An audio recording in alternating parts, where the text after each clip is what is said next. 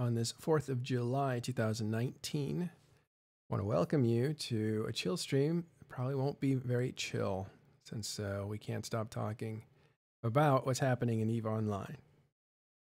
With me right now is Exxon Fang, who is from Fwetit, and he's also part of Talking in Stations, but you can consider him the little guy inside this big drifter mess.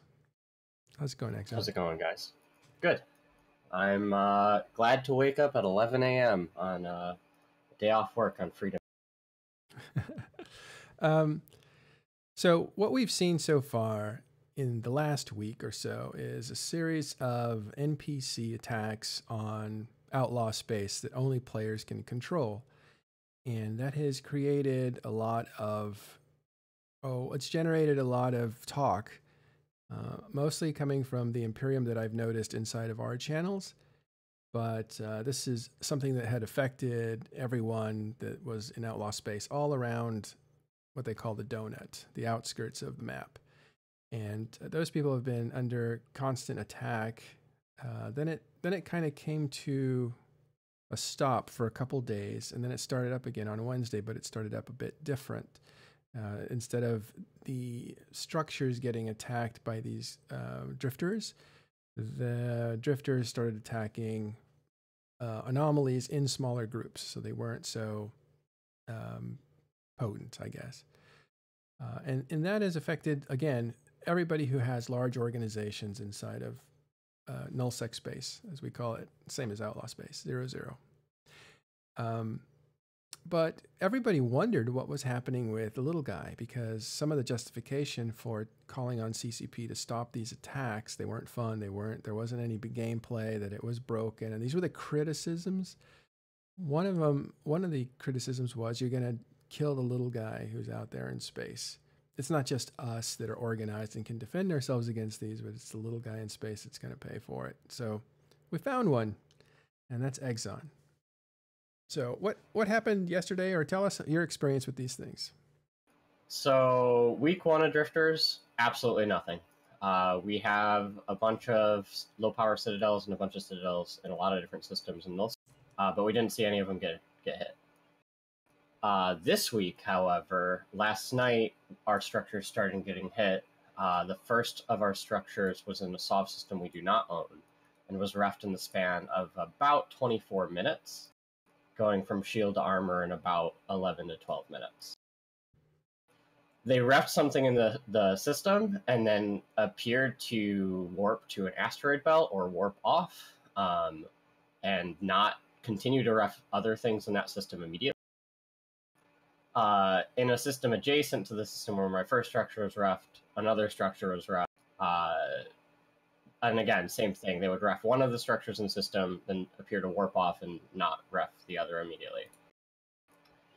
Uh, this morning, I woke up and a third structure was refed. This one was a high power one, uh, and same thing. It's in the same system as another system that's ref, as another structure that's refed, but it was refed. But this one, it was a uh, Citadel uh, Astrahus that took like an hour and a half for them to ref instead of 20 minutes. Oh, wow. I'm warping around the system right now to see if they're still in system, but there appears to be some sort of cooldown timer or some sort of uh, other behavior that's preventing them from hitting multiple things directly in a row. At least from what I'm seeing from from being a 140 man alliance.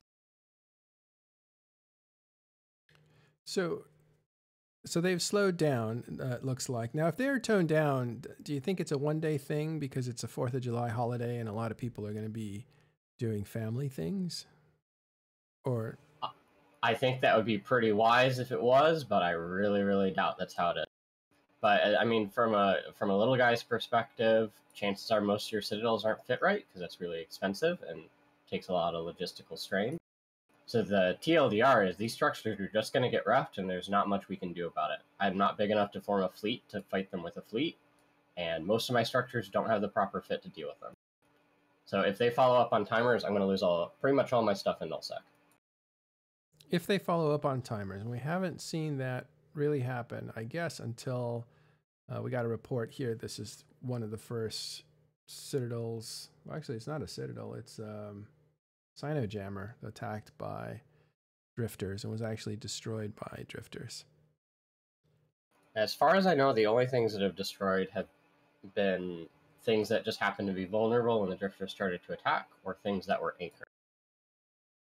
Yeah. But considering last week they had the drifter threat as well, it's very possible that something could have been roughed last week and just now coming into vulnerability this. But it's pretty hard for us to tell if that's coincidence because they just spawn and happened to spawn in that system at that time, or if they're actually targeting things they've hit before. Hmm, okay, well here's a citadel. So that was a Cyno-Jammer. Here's a citadel. Uh, as you can see when we scroll down, the culprits. Look at these guys. Uh, the culprits were drifters. Uh, that is the Artemis Tyrannos.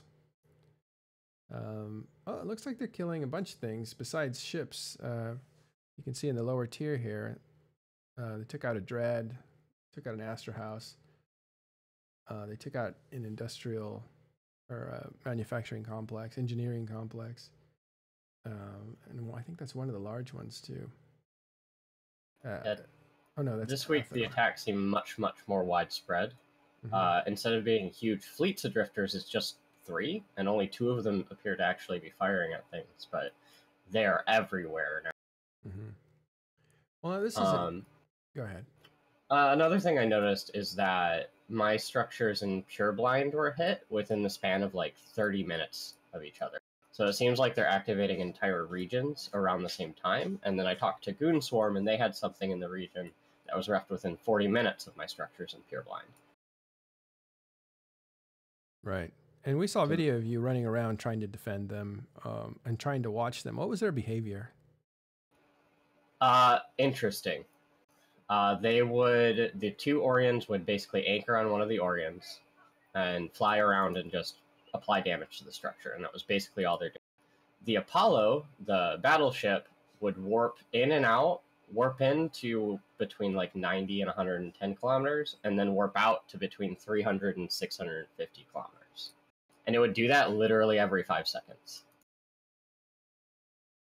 To the point where it was impossible for me to actually lock uh, the battleships with my system.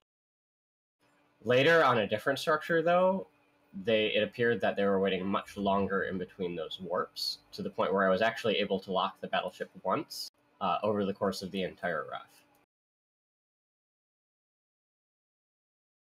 After they refed uh, the Citadel, they warped off to a random asteroid belt, sat there for about 20 to 30 minutes, then warped to another asteroid belt and sat there for 20 to 30 minutes. They, they did that for about two hours before I got bored of watching. And they didn't bother the uh, the other uh, rats, the other NPCs that were there. Correct. There are Guristas in the space, and they just kind of hung out with them. I think that's. I can definitely confirm that the attacks are a lot more widespread this time. All right, so let's let's go back and put that in perspective. The first group of attacks were hitting who? Last week.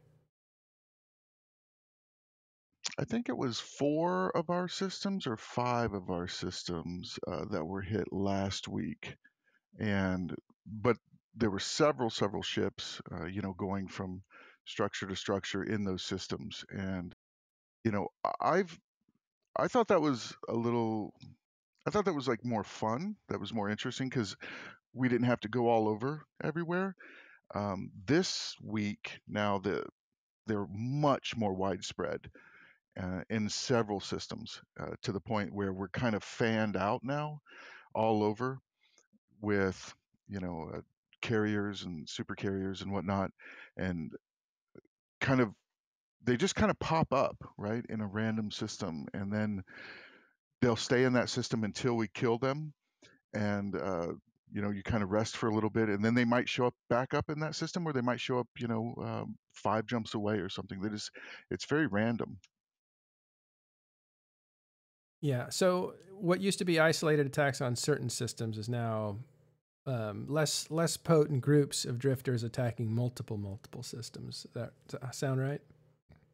Yeah, that's yeah, that's pretty accurate. And you know, it is. It's less potent in the sense that there's not as many of them because there's you know just groups of three, and you know it's the two battle cruisers and the battleship, but they can still ref just about everything. Um, I haven't seen them ref a Draccous Fortizar, and you know I haven't seen them ref some of the higher end uh, structures, only because with only three, what happens is they don't uh, put a sustained amount of damage, right? So there, there's pauses uh, between the damage, so they don't hit the damage cap. So that one or two or three seconds between damaging, it counts down that repair timer. But the interesting thing is, even as it slowly counts down that repair timer and then it clicks into repair, they just continue to to ref it. then it just starts again. So it's like this kind of endless loop. Wild. Uh, question from the audience: Are you still having fun with these? Yeah. So, uh, and let me be very clear uh, that I am the eternal optimist. and uh, you know, I can, you know, I was in the Marines for six years. Like I can, I can put up with a lot. Yeah. So um, I'm not having. Uh, I'm, I'm having fun in the sense that the way that you know test has formed and uh, we've adapted to it and we've gotten fleets and communication channels i think that's really exciting and, and it's fun uh, but they're so widespread. Um, there are a couple of things you know that i would love to tweak about them you know that if there was some way to predict uh, where they were going to show up or something like that um, you know that would be great. And also i think you know one of the big problems right now in the beginning is it puts a lot of wear and tear on our logistics and on our leadership and, and all of these types of things but you know our response to them uh, you know has been a lot of fun in that sense I, I wish it was a little bit more rewarding i guess you could say mm-hmm. um, we found we have found though that with the t2 salvages uh, there is a chance to get some actually really good salvage. I mean, you know, some guy earlier got like 75 mil in salvage from one of the battleships. But you know, they're not dropping blue loot anymore, uh, to my knowledge. So, you know, there, there's a plethora of reasons um, that people don't like them. I think a lot of them are very valid. You know that it's taking away from PvP and things like that. But um, you know, for me personally, you know, uh, I'm I'm enjoying it and I'm having fun. Um, you know, hanging out with you know uh, testes and kind of running around and uh, fighting him is it's it's an interesting and I always like everything new. You know, I like new stuff and I, I like dynamic kind of content. So you know, I'm I'm not having as much fun because it's so widespread, but uh, I'm still uh, having fun. All right. Yeah, you can definitely put up with a lot, and you're an eternal optimist, which I really like. Um, okay, so let's go back then and uh, we know how they're reacting and what they're doing and stuff. And has has the temperature, has the reaction from players changed over the last week and a half?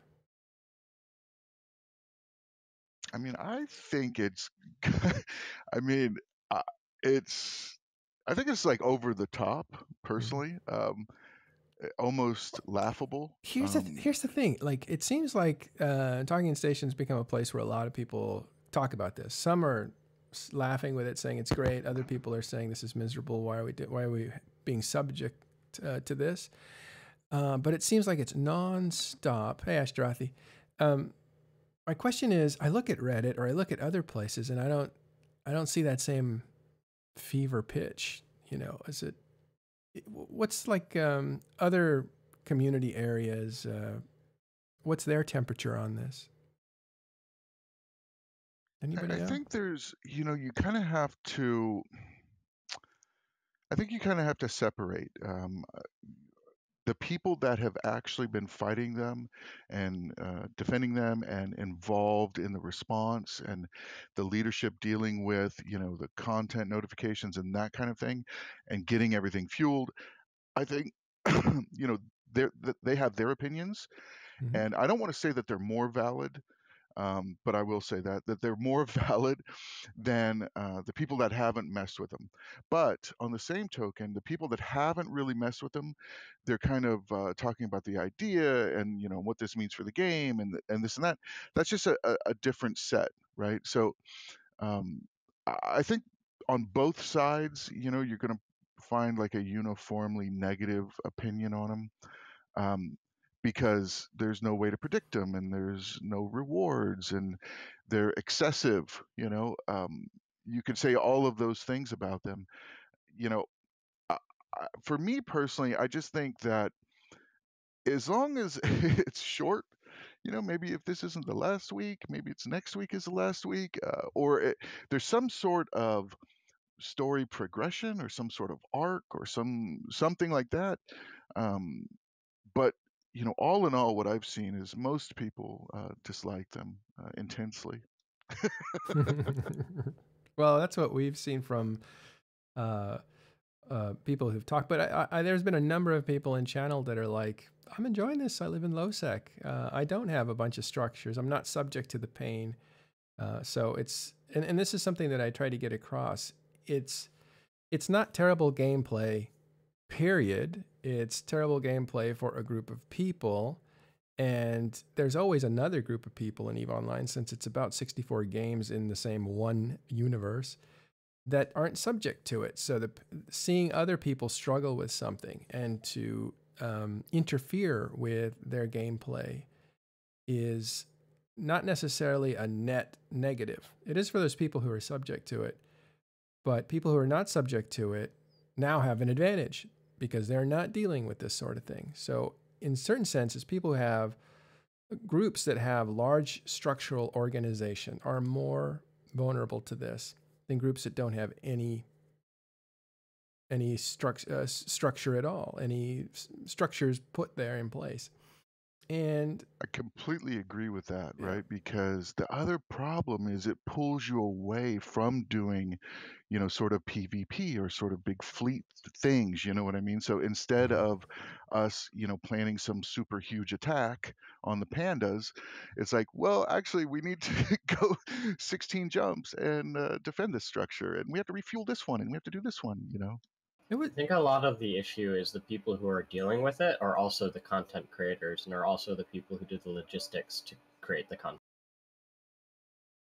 Okay, so but that's certain content, right? Because a hauler in HiSec has nothing to do with FC's, right? Yeah, we're talking like about different groups of people. Groups that are dealing with this. Again, again, in the confines of the groups that are having to deal with this, it is it is, uh, say, not pleasant, busy, busy work, not rewarding uh, help me out here. How many other things have people comment about this? Oppressive. Uh, oppressive, yeah. And, and again, but then there's other parts of the population that don't have to deal with this. Now, what's funny to me is there's so many things in reverse here, right? Like we we were joking around when this started as um, uh, what do they call it when uh, PvPers jump on players that just want to play with the environment? Non-consensual PvP. That, thank you. No, non-consensual PvP is what I was looking. For. Oh, non-consensual for. PvP. Non-consensual okay. PvP, and then this is and and used to be when non-consensual PvP happened and somebody complained about it, they'd get barraged with like toughen up, figure out uh, how to play the real Eve, etc., etc. There was a lot of stuff that basically said suck it up, and now we have non-consensual PVE, and the whole a whole different group of people is complaining that hey i didn't sign up for this. This is not gameplay. Uh, why is this happening? And uh, and and the answer has been suck it up uh, from from other people. Well, and so it's funny how that's well, reversed. that, that puzzle has been really interesting because while the outcry is we don't want non-consensual pve when you drill down to it you often get some sort of quote unquote solution like if only they're rewarding, mm-hmm. or if only we can. sorry, if only we could descan them. Uh-huh. Um, you know, whatever. So like when you get past it, and then they'll even say uh, that, or some will admit that incursions, if they drop on your main systems, is quote unquote non-consensual PVE because you have to take care of them. So I don't necessarily think it's that. That being said, the drifters almost seem engineered to be frustrating. Yeah. Well, here's another one, and this is the parallel I was going for because that one was like last week, right? That was so last week. But this week it was, um, it's, or not, here's just a different way of looking at it. You know how uh, when they say, "Hey, there's a PvP fleet. Stop ratting around. Stop doing environmental stuff. Stop playing with NPCs. You got to get into this PvP fleet, right? Like you must, or you'll get kicked out of these groups." And this seems like the reverse of that. Like, no, no, no, you can't PvP because you're busy dealing with the environment. So it kind of there's some interesting like flips that are happening. And I know you may not agree with the non-consensual PVE thing, but I think it's downright hilarious uh, that that term. Uh, and I, I, don't know. Do you think it's a fair comparison? But uh, for wait, which one? The non-consensual PVE or the the, the non-consensual stopping PVE? Around? Well, I guess I guess I the reason why um I think it's become like almost like a tease. Yeah. Like a jab more oh. than a literally true statement. Right? Because as as I said, um non-consensual PvE was already in the game as it were. So, but I and it, I mean there's there's a lot of different ways that that people have turned around the uh the words of goons or of of of uh of over the years in order to turn it back around on this. And I think that there are some parallels um, because it is the idea that uh, Eve is actually a game that isn't necessarily always about doing exactly what you want to do, but only when you have the ability, the will, the resources, and the power to make that happen and sometimes you get overwhelmed. And these are all truisms throughout all of Eve. And the fact that it's being done by an AI is causing extra frustration. But I wonder how long it'll take till there's some sort of like adaptation. At the same time, with this escalation that we've seen this week, this is nuts. Like I don't even know. I don't know what to say about this stuff, man. Like you guys made CCP mad or something. You think it's punishment? I well, I actually I I suspect that if there is a solution coming, it would come soon. I I imagine that um I you know, I don't know. I don't know if it's punishment or just like a message that hey, by the way, uh, when we pulled it back, the bug that we pulled it back for was that it wasn't destroying you hard enough. You know, like I I I don't even know what to say at this point. It's just so like the the the damage that was done yesterday, and it's ongoing, right? Like it hasn't mm-hmm. even slowed down, right? Mm-hmm. On Fourth of well, July. It, yeah, it took a couple. No, it did slow down, I believe. Was that right, Exxon, or does it seem like it slowed down? Uh, I haven't had anything hit today.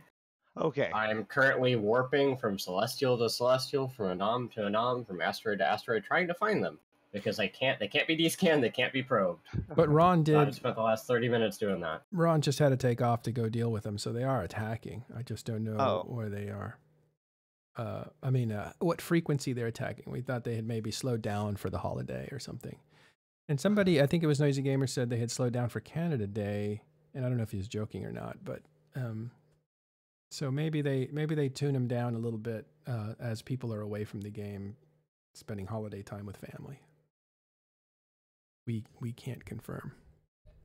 Dunk Dinkle, who's that less people die because there's not as many people out ratting or something. Let's have a look at that actually. Um, so far, it looks like one structure has died. I'll go through these, killing a lot of players and ships, even T two ships. Uh, looks like VNIs are well, dying. A uh, an a, uh, Astrahus and a um uh Athanor was mm-hmm. killed yesterday. Yeah, I but saw. That. Those are both opportunistic. Like, uh, like some people are celebrating this as like this the the AI worked. Well, actually, it just if anything, it got lucky this time. So we'll have to see. Right. What what happens over? Actually, over yeah, this Athanor. We'll look at it. This is two structures. so with everything that's happened, two structures have been destroyed. Uh, keep that in mind. Um, and it looks like there are some players on this kill as well, including the final blow going to uh, uh, someone f- um, from a corporation or an alliance. So yeah, so drifters did most of the uh, damage, the, but didn't kill it. I think it was the uh, Athanor if you look on the kill boards, there's also an Astrahus that was killed by Slyce with one uh, one of the members that was on the kill from the Athanor also on the kill with Slyce. Oh. So I don't know if this was opportunism hmm or if the drifters showed up to help. Uh, but it Well- does seem like it was part of a larger effort. Drifters did a lot of the damage, but uh, again, the final blow, not the drifters. The final blow comes to um, actual players. Right, but if you click on the system, you'll see that there's an Astrahus that died right around that same time in that same system. A different one. So you think they were in Yes. the area? Yeah. Well, again, like that was Slyce though, so but e- except for one member from that other group. So I'm not sure how it all went down, but it seemed like there were one group or the Slyce was bashing the Astrahus when the Drifters started attacking the other guy or the other one, and then either those that small team. It has to have been opportunism. Why would you stay on grid? That's what that's what blows my mind. All right. So, um, Exxon, so you're you're jumping around. Uh, do they seem active, or nothing's been attacked for you, right? Uh, nothing's been attacked for the last eight hours in the system. Yeah, and you can't actually see them until they hit you, and when they hit you, it's usually deadly, right? Correct. It, usually, I can't get out there in time to actually do anything about it. I mean, mind you, my citadels aren't fit, so it's not like I could do anything for them anyways. But Yeah. the first structures that I had that got hit were like 30 or 40 jumps away, and there's just no way I was getting there in time. How fast do they? The other really co- confusing thing about that Athanor kill is that it is empty. Yeah. So, you know, if you're not looking at the amount of burnout it's creating in players, if you're just looking at the amount of damage they've done, it's not very good, right? For the invasion, for the size of the invasion. Didn't they become like in the top 10 of all time now? As, well, I'm sorry, as far as ship kills, possibly. Well, Um, then what, what what's your metric then? The metric was actual uh, infrastructure damage. Well, it's been a day. No, it hasn't. Is this just one day, or is this? Uh, Yeah, this is it, it restarted yesterday. what about last week? I think they killed a. Well, last week was things. broken. The only thing it killed was an Ansiblex uh, jump gate, and that was already uh, in low power. Well, I'm confused since the, f- the final blow came from player characters. Mhm. Have we So seen that- drifters finish anything off? So I believe that that is the nature of NPCs. So if an NPC finishes a kill, that kill is awarded to the last player to have done damage as the final blow. So that Athanor uh, was actually anchoring. That's what I thought. Who anchors a That's why it's not dead. freaking Athanor in the middle of the? I don't even know. Yeah, This is Plex so- in the cargo hold level situations. So on the other side of this, the the reason that we're not seeing the drifters destroy a lot of structures is that it takes a decent amount of time to kill a lot of these structures. Um, some of them have a window a week uh, for their next vulnerability timer. So, for instance, if something was shot at when this initially launched a week ago, it might be just now coming into its uh, first reinforcement timer. Uh, some statistics from tests they have 176 systems that have been attacked, uh, over 400 attacks from these drifters. That's a good array. Yeah, the fact that the attacks moved um, ruined some of my theories. That's right. You're trying to figure out what's going on, right? yeah. Or the, the consortium that does a lot of um, basically, um, um, I don't know, analyzing of, of lore or backstory for EVE Online. What, what do they think of this? Because they must be looking at it too. Uh, from my, I mean, like Arataka is currently just well, first of all, still trying to figure out invasions a lot, like the high sec version. Mhm. Um, but are intensely interested in uh, what's going on with nullsec. I know that uh, they were talking about reaching out to major empires and looking into getting like blue status, so that way they can go out there and experiment um, themselves to figure out what's going on. Um, overall, uh, the other thing is is that they we are or they they are more at this point they're we're they're picking through like the text of a lot of stuff Mhm. and this like all the pieces of the story in order to try to figure out what might be the thing that happens next, right? Mm-hmm. One uh, criticism is that CCP hasn't really relayed any information about what's going on. And so that's why I ask what they're looking at because lore isn't something that CCP just puts out, right? The company just says this happened. Um, lately, they've been giving you a lot of clues to things, and players have been assembling the clues and putting it together. So that's why I asked what their point of view was, since they're kind of the Sherlock Holmes of that sort of in, uh, content. Yeah, um, you're absolutely right that CCP is playing this extraordinarily close to the chest, which a lot of people find exciting. Mhm. Um, I think that if they explain to us how it works or provided a basic, you know, reward system, then it would be a very different thing happening. All right, like the you would not see the reactions that you do now if there wasn't that giant unknown and the amount of story as it were that's being generated by this is actually pretty incredible um e- even the even the burn high sec stuff like this is the thing like i'm intensely interested in how this is going to play out in to- in total because um you know this is a level of emergent gameplay potentially than we've seen in a long time. And you know with everybody complaining that things are so stagnant going into a summer that usually has some pretty big doldrums uh i think it's really awesome that you can be talking about what's going on in eve for like two days straight and not run out of things to talk about Something to correct. Um, the final blow goes to players that put damage on a structure, even if they're not the final blow, if their only other competitor for that position is an NPC. So NPCs can't get the final blow, is what I'm trying I'm understanding here from Zeronic. yeah that's what i was saying so Hmm. like um Sorry, I When I missed it when you said it. yeah so my coercer right yeah. So I was in high sec. My coercers, I, I warped to a belt. There's an Omen Navy issue smart bombing. I go up through the Omen Navy issue. He invokes Concord. So as soon as Concord shows up, I shoot uh, the Omen. Concord blows him up. I get killing blow and and uh, kill mail. Right. Wow. It's a kill report now. Hasn't been a mail in 10 years, 20 years, 15 years. All right. So That's fair.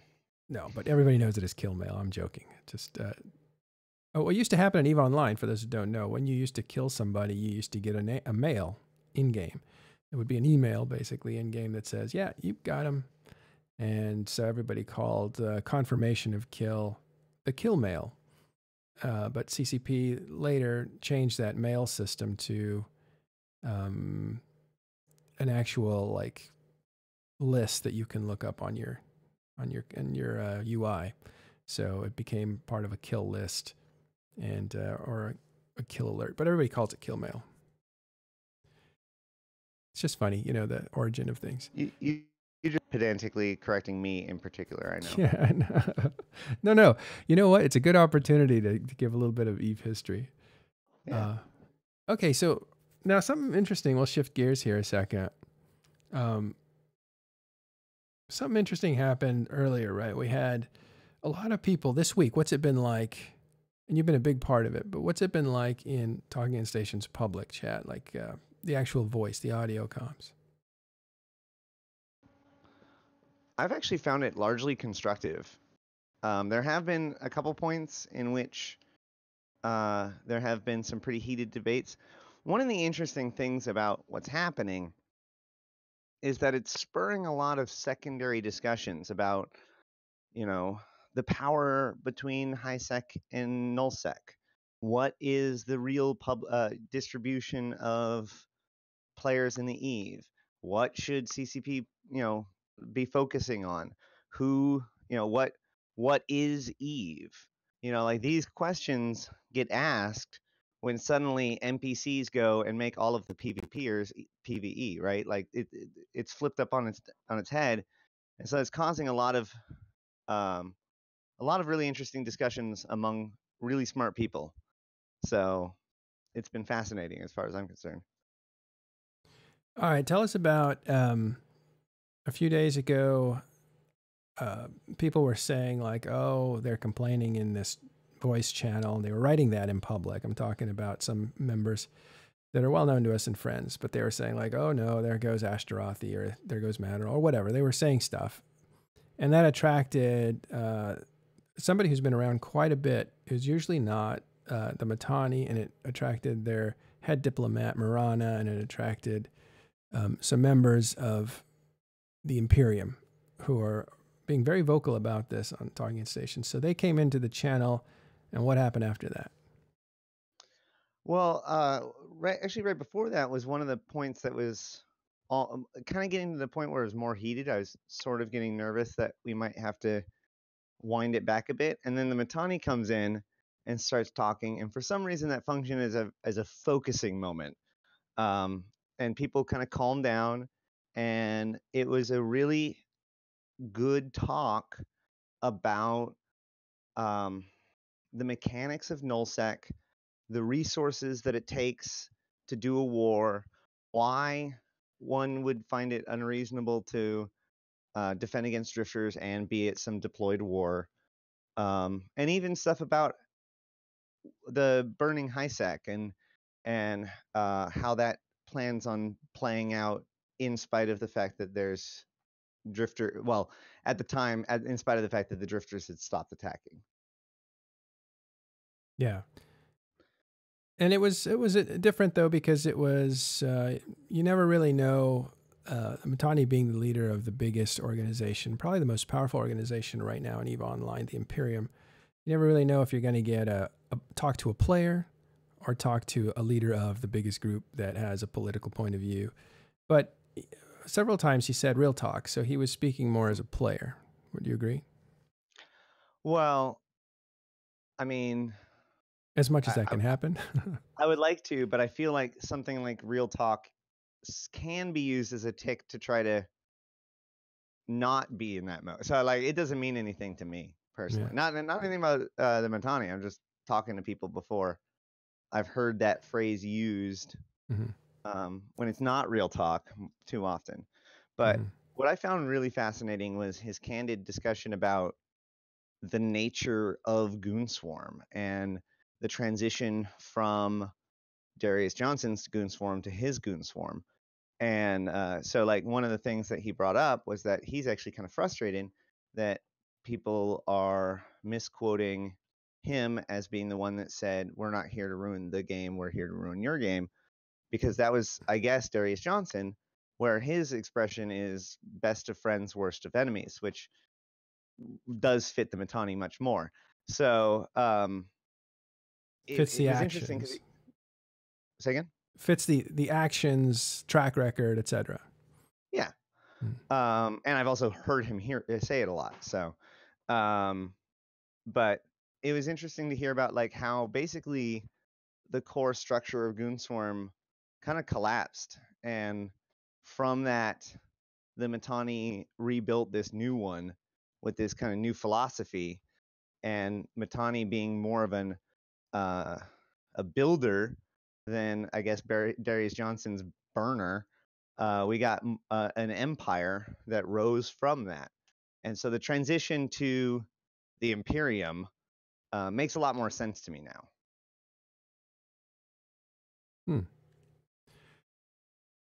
Right. So uh, went on answering questions about. Um, I asked him, "Why are you going to attack uh, nullsec and- or highsec?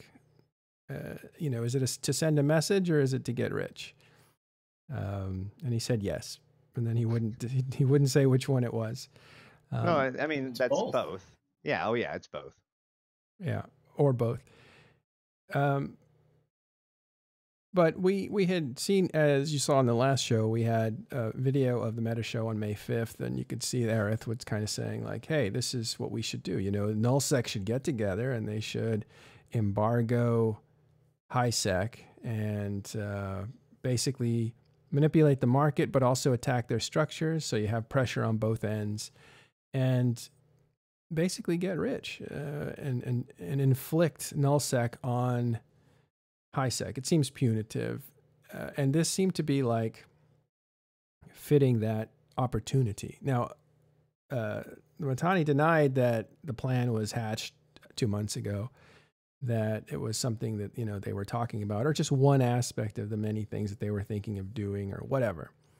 But uh, he said there was no connection between those two, to be fair to him. Yeah.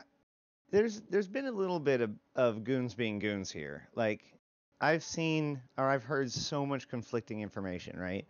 So uh, the Mittani um, talking about, or and Marana talking about how many gunners they have, and and this narrative that um, the gunners like are the same people as the content creators. We've heard this argument over and over and over again. And then last night or yesterday, when I was talking to a different goon swarm high up, whose name or who I don't remember who it was. Was it Dirk, um, Dirk Statiel or something? He's an FC. He's was, been doing a lot of gunning. It, it, I think it was a supply guy. I thought. Oh, one uh, of the t- Tuzzy. Tuzzy, maybe. Yeah, yeah. I think it was Tuzzy. Okay. Either way, um, I don't want to misquote though. So, but when I said that as like part of the discussion, he's like, I don't know why everybody's saying that. You know, we have we have a we have over a hundred gunners. It's not that big of a deal. Like we've got gunners all over the place. And so like it's hard to piece together what's really going on because um, these guys are well known for manipulating the narrative and showcasing a different side of things or or even outright lying if they need to to portray things the way they want it to be portrayed and this was even something that Mittani was even talking about like you know when you're or looking weak or uh, whether or not or cha- affecting how people uh, think or or interpret the situation or, or uh, ah, like think highly or think lowly of the person shit uh, appear weak i don't know how to how to put it better than that like a, a, mm-hmm. like he says that people think that we are incompetent or unruly and uh, that that is useful to him yeah. So that being said, all of this stuff about the, the problem is is that we're getting these conflicting reports about whether or not drifters are doomsdaying, whether or not drifters drop good loot, whether or not you know uh, whether or not they have enough gunners, whether or not they really needed to stop the war, right? Like the narrative shifts depending on what you're looking at. Mm-hmm. Uh, I'd like to welcome Sinister 1991 to EVE Online he's brand new, I guess, but uh, and doesn't understand what we're talking about, but he is excited to be here. It looks like it's all so much so interesting. Welcome. Uh, we'll we'll try to sometimes break down concepts for players that are relatively new, but it is a show uh, pretty much for advanced people um, who have played the game a long time and already know a lot of the language and understand the concepts that uh, we're talking about. Well, right now we we are li- literally at like the tip of the spear, right? Like, yeah, I'd love to be able to break this stuff down, but yeah. I don't know enough right. to do. Like, I, at this point, it would just be story time. You know what I mean? Like, yeah. Well, we can get it. Go ahead. There's a lot of figuring out the information and hearing different reports from different alliances and trying to aggregate that all together and what is actually happening. And I think the fact that the stuff is changing so often really does not help in people understanding what's going on. All right, so let's go back to what's going on. I've brought in an FC uh, from NC, but also Providence and former Goon Swarm FC Redline, the 13th. Did I say it right this time? Close enough. All right, that welcome. Works. Let me turn you up. Have you been dealing with the uh, the Drifter menace? Um, I only dealt with it one time and it really seemed kind of pointless to deal with. So I'm really just curious, like, uh, why why is it such a big deal to deal with it, you know, now if they don't follow up on timers? Why are people talking about how like super inconvenient it is and everything like that when you literally can just ignore it unless they come back? Am am I confused on something there? That's that's what I'm curious about. So I asked them, Who's them? Who's them? uh, various nullsec leadership, Mm-hmm. why don't you just let them hit you at night, and then all of your reinforcements are going to be at, you know, whatever your reinforcement timer is, and then you just guard during that time, right? And the response that I kept getting was basically, what if the gunner falls asleep? You know, what if, what if, what if, what if? And the the fear that I I'm hearing is I don't like the idea of just being exposed to an armor timer and what all of that could entail. So I would rather stay up all night and stop the drifters from even getting to that point because even getting to the armor timer represents a threat that they don't want, even if it's not the drifters that come back. So more or less, it's a preventative measure. Basically, they they feel like they have to go out there and and defend everything right then and there, and drop whatever they're doing. That's got well, yeah, that's got that's my understanding because basically the idea is is that if you let it go to the armor timer and then for something goes wrong at all and at any point, boom, you're in structure, right? Like But then again, I think that they I, I think that they have not decided that they're not coming back. If that makes sense. Like they're prepared they they seem convinced that they will. Well, I mean, we've seen we've seen ton we've seen multiple regions where there were structures reinforced where they didn't come back. And Was that last week? um, that was well, yeah, it was last week. Yeah. Um, but I mean, this week what we're looking at basically, you know, they're warping to anomalies now. Um, but I mean, realistically, if they if they do come back, how how hard is it to deal with them then? Like, do you really have to put everything on hold and, you know, scream very loudly that everything is terrible just because of this?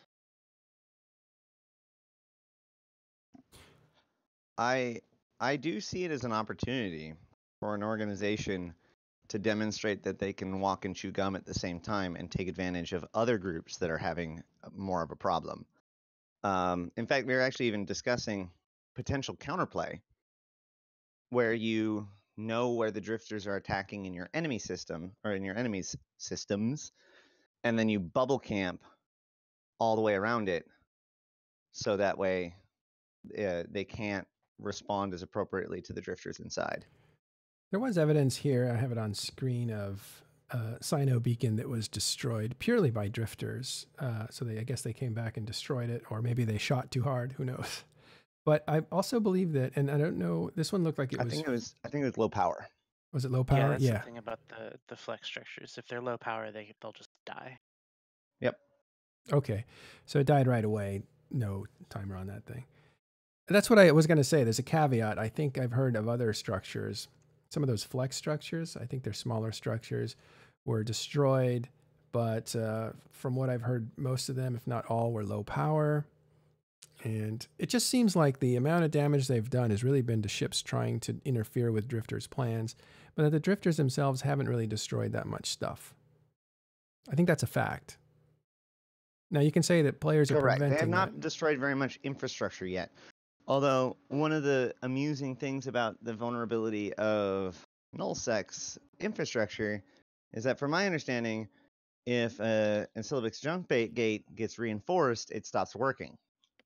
Yeah. So these null blocks having their jump break, jump bridge network just randomly being shut off all throughout their area is probably closer to the real reason why they're having difficulty deploying. Yeah.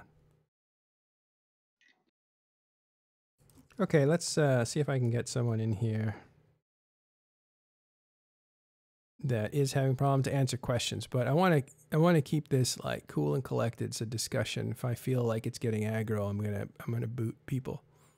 Um, What I want to know is what, if any, of the so-called reported bugs from last week remain now.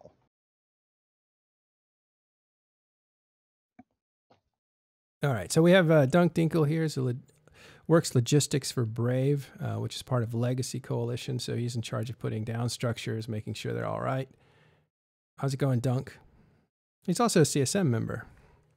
It's also my It's- personal hero. It's also been uh, a long uh, uh, 24 hours or whatever it's been since this all started up again. Well, Congratulations, why don't Dunk, you- on CSM. You're welcome. Yeah, tell us. Uh, tell us um, your experience on this, starting from like last week and how it's different this week. So last week, uh, Brave really wasn't affected, so I wasn't able to see firsthand exactly what this looked like. But I had been in communication with other people via CSM and via other like the null people dealing with this. And I was a little bit of the wait and see what happens. It seemed to taper off. There was a two day period where there were no attacks at all, and everyone was waiting for Tuesday or Wednesday to see what would happen next. And uh, what started up on Wednesday morning for me around 5 a.m. is we started to see the drifter attacks, and it was a different setup than the previous drifter attacks. And basically, it has been continuously with no stop uh, since then. So um, basically, they're hitting all different structures. They stay in a system and they'll go after a structure, and then if they reinforce it, they'll just move on to the next structure until they're stopped. If you do kill them, uh, you might get a break of where that particular system isn't hit again, but we have seen systems in which we've stopped them, they respawn in that system. So the idea that the drifters aren't going to come back for timers, we've seen them come back multiple times within the same 24 hour period where they roam the system and reinforce things. So the idea that we can kind of just, they won't come back for the timers, we don't need to worry, I, I don't feel that's a realistic thing. You don't feel, or you haven't seen that that's a realistic thing. Well, they I ha- would- the, the, I- the experience is that they have come back to systems that we have stopped them in repeatedly in the last 24 hours.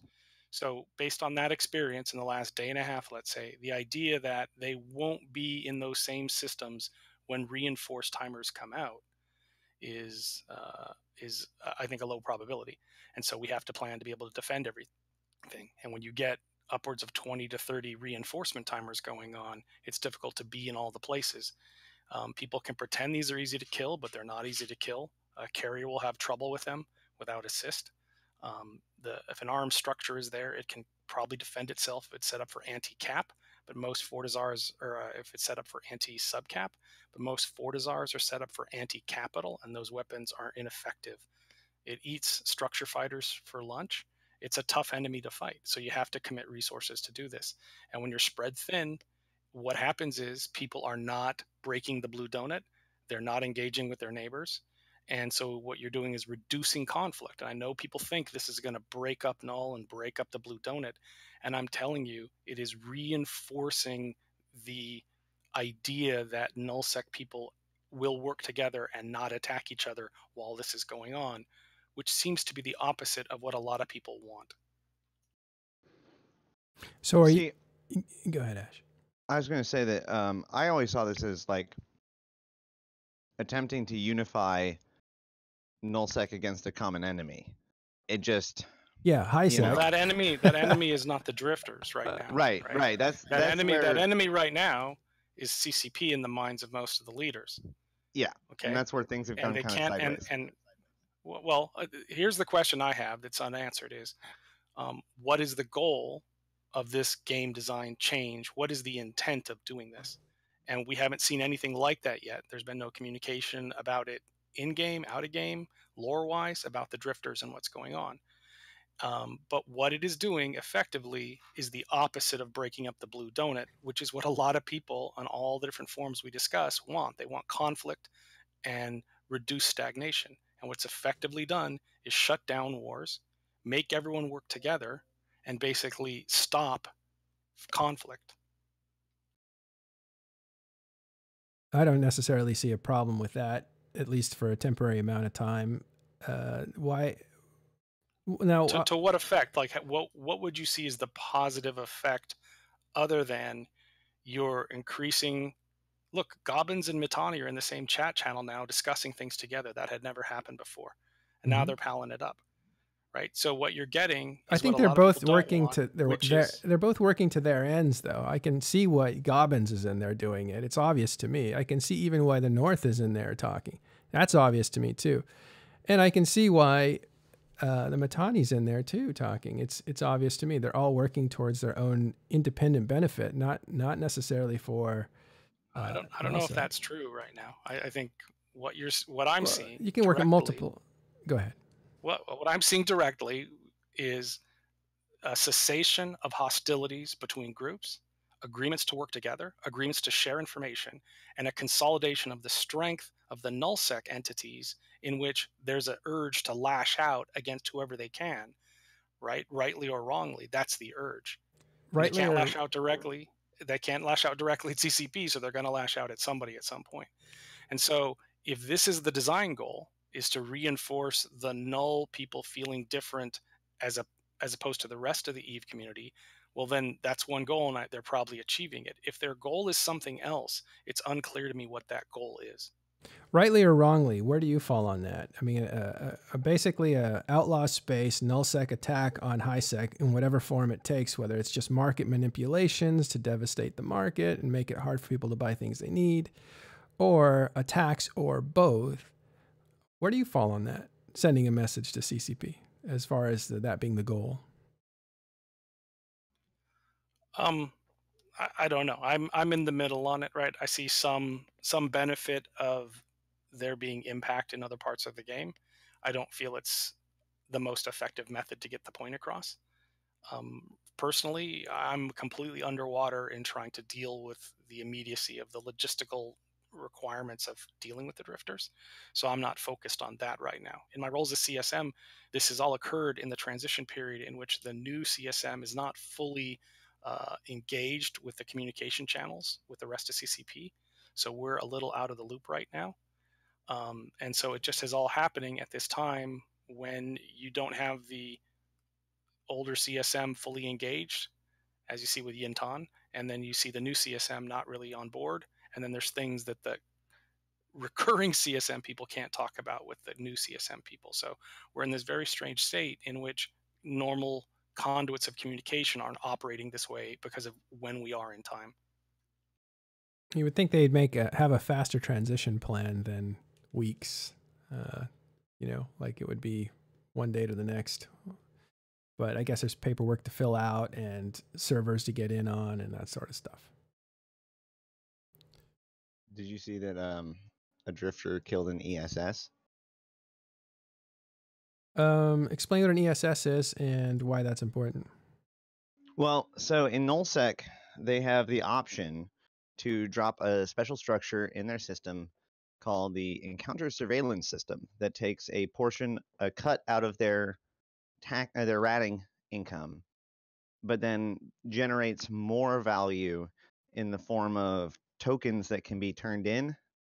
But this thing can be smashed like a, a penny bank, or you know, like a bank or something like that Mhm. by uh, an enemy force who could come in, break it, steal your money, and leave if you haven't pulled it out recently as a as a organization or as a you know alliance or whatever.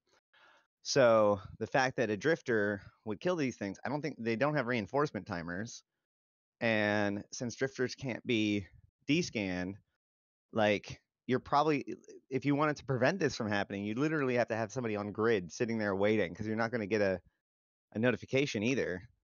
So it's that's pretty that's pretty mean right there.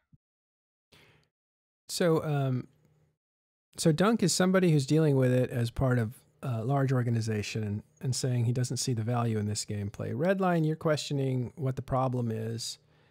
Uh, what's going on in Providence? You're associated with with Providence to no, you're associated with MPSI, but you guys are in Providence. Have you seen anything going on down there? Uh, I haven't been down there in, in a while. It's been a few weeks, Um, right? Yeah. Yeah, it's it's a little bit of a lull zone. Um, the only real interaction that I've seen is uh, up in Horde space with drifters, um, and I saw them handle them pretty capably with just a bunch of corms. So I really, I guess I. That's kind of where my question was coming from, uh, and and Dunk pretty much answered it. You guys answered it pretty well as far as uh, why you want to nip it in the bud, so to speak. Um, but I guess my my follow up would be, uh, you know, is it is it still possible to be deployed somewhere and and deal with that back at home, or is it completely impossible now? Has this completely changed the way that uh, nullsec works for you guys?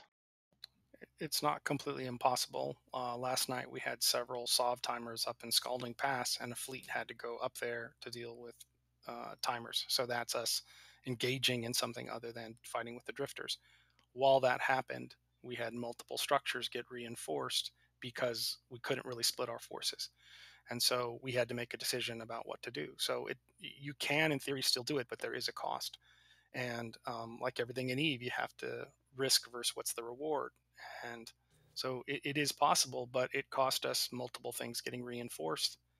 Um, and you know that it's possible, but again, it's worth. This is all is worth it if it's going to achieve something that is positive for the game.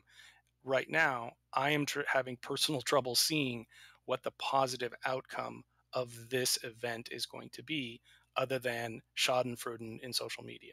Okay, let me let me try to put a, a positive uh, in front of you. If this is a burden that only Outlaw Space Nullsec has to deal with, does it become a pressure to become to make it harder to be less less big or to have less space i think it has the opposite effect i, I think it it, it uh, some have talked about it makes us be even more fortress like to even more hyper vigilant and aware of protecting our space to invest even more resources in strengthening uh, all of our abilities to repel attack so the the idea that we would give up regions or give up space or give up citadels because the NPCs are attacking us, no one has discussed that. It's not even on Hey, the table so in I have some any in any news. group. Okay i'm sorry yeah go ahead ash Arataka Research Consortium structures are being re- uh, have been reinforced by Sansha's Nation forces. ah They've here it is Over the last two days. These are the uh, re- Arataka's Research Consortium structures that are surrounded around um, doing the Triglavian um, semiosis console research in Semiki. These are the same structures that were that were reinforced by drifters um, over the last few months.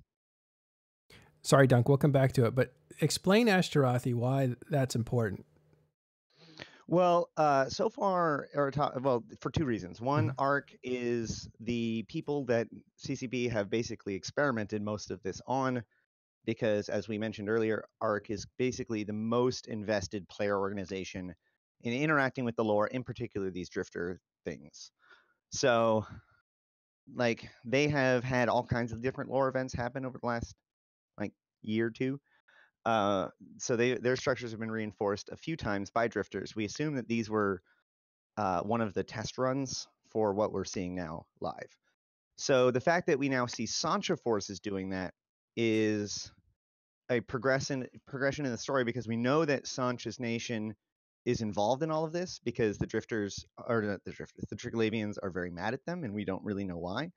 Uh, well, we we have some ideas. hold on why Be- they like before you get into what their motivations are and all that kind of stuff for people that aren't that familiar with the game they're basically now that signals a third npc faction uh, involved in raids or in these uh, invasions right this is the invasion expansion Right. and it started out with one group it's now gone to a second group and this is the beginning of a third group the third group.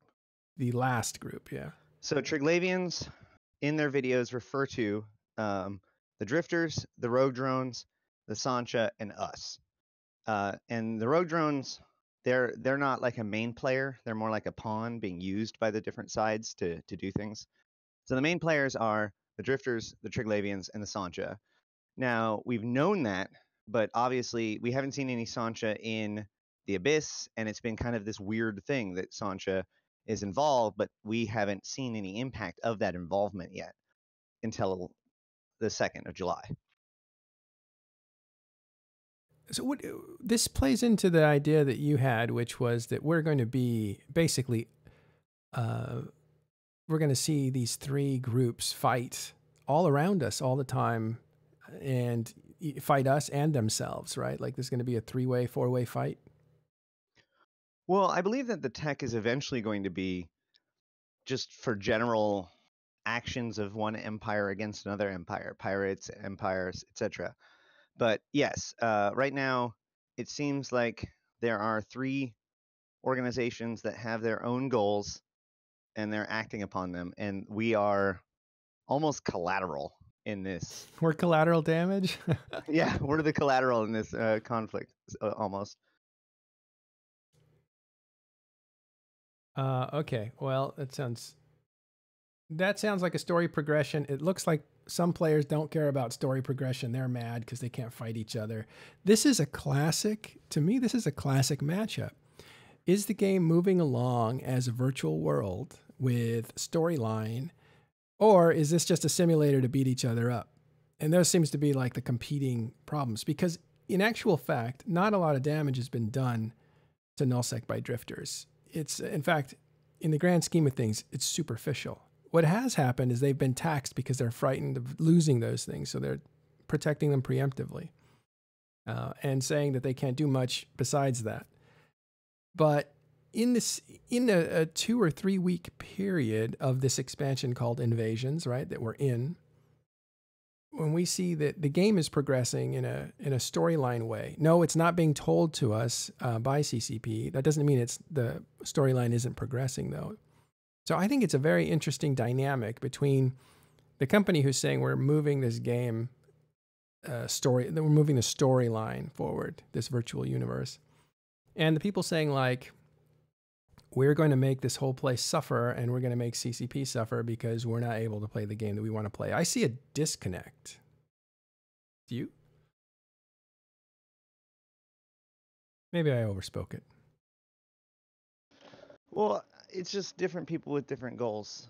Yeah. Um, I think that. But it, I think, but you know, it's different people with different goals. But there is a claim of ownership. There's a lot of like, this is what Eve is. Why would you mess with that? Wouldn't you say? I think it's well, fair yeah. to say.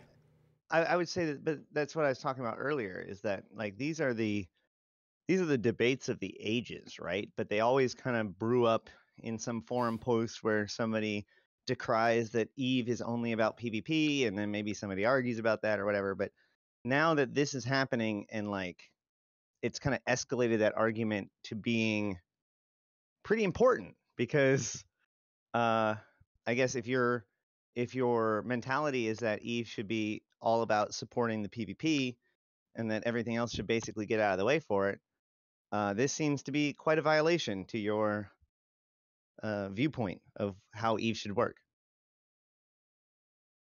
Yeah, but isn't there a middle? Isn't there a middle ground here? Oh I yeah, mean, I think there is. I mean, I mean well, I, you know, I, I enjoy the lore, and I'm a, a, PvP person, and I enjoy the lore. I've included the lore in different things I've done, mm-hmm. and there is a middle ground between uh, a drifter attack that helps tell a story, the way that Arataka research has been attacked in a one-time or sec- two-time event, um, as opposed to what is happening now with the drifters, in which it has been a continuous, unexplained, no lore-driven kind of thing. There's a middle ground, and I don't think anyone would be upset if there was a an attack and we knew and and then it it wasn't literally 24 hours a day. There's a middle ground between those doing nothing and what we're seeing today. Actually, in the last hour, they have uh, reported that the attacks have stopped in the last hour. Go ahead, Ash.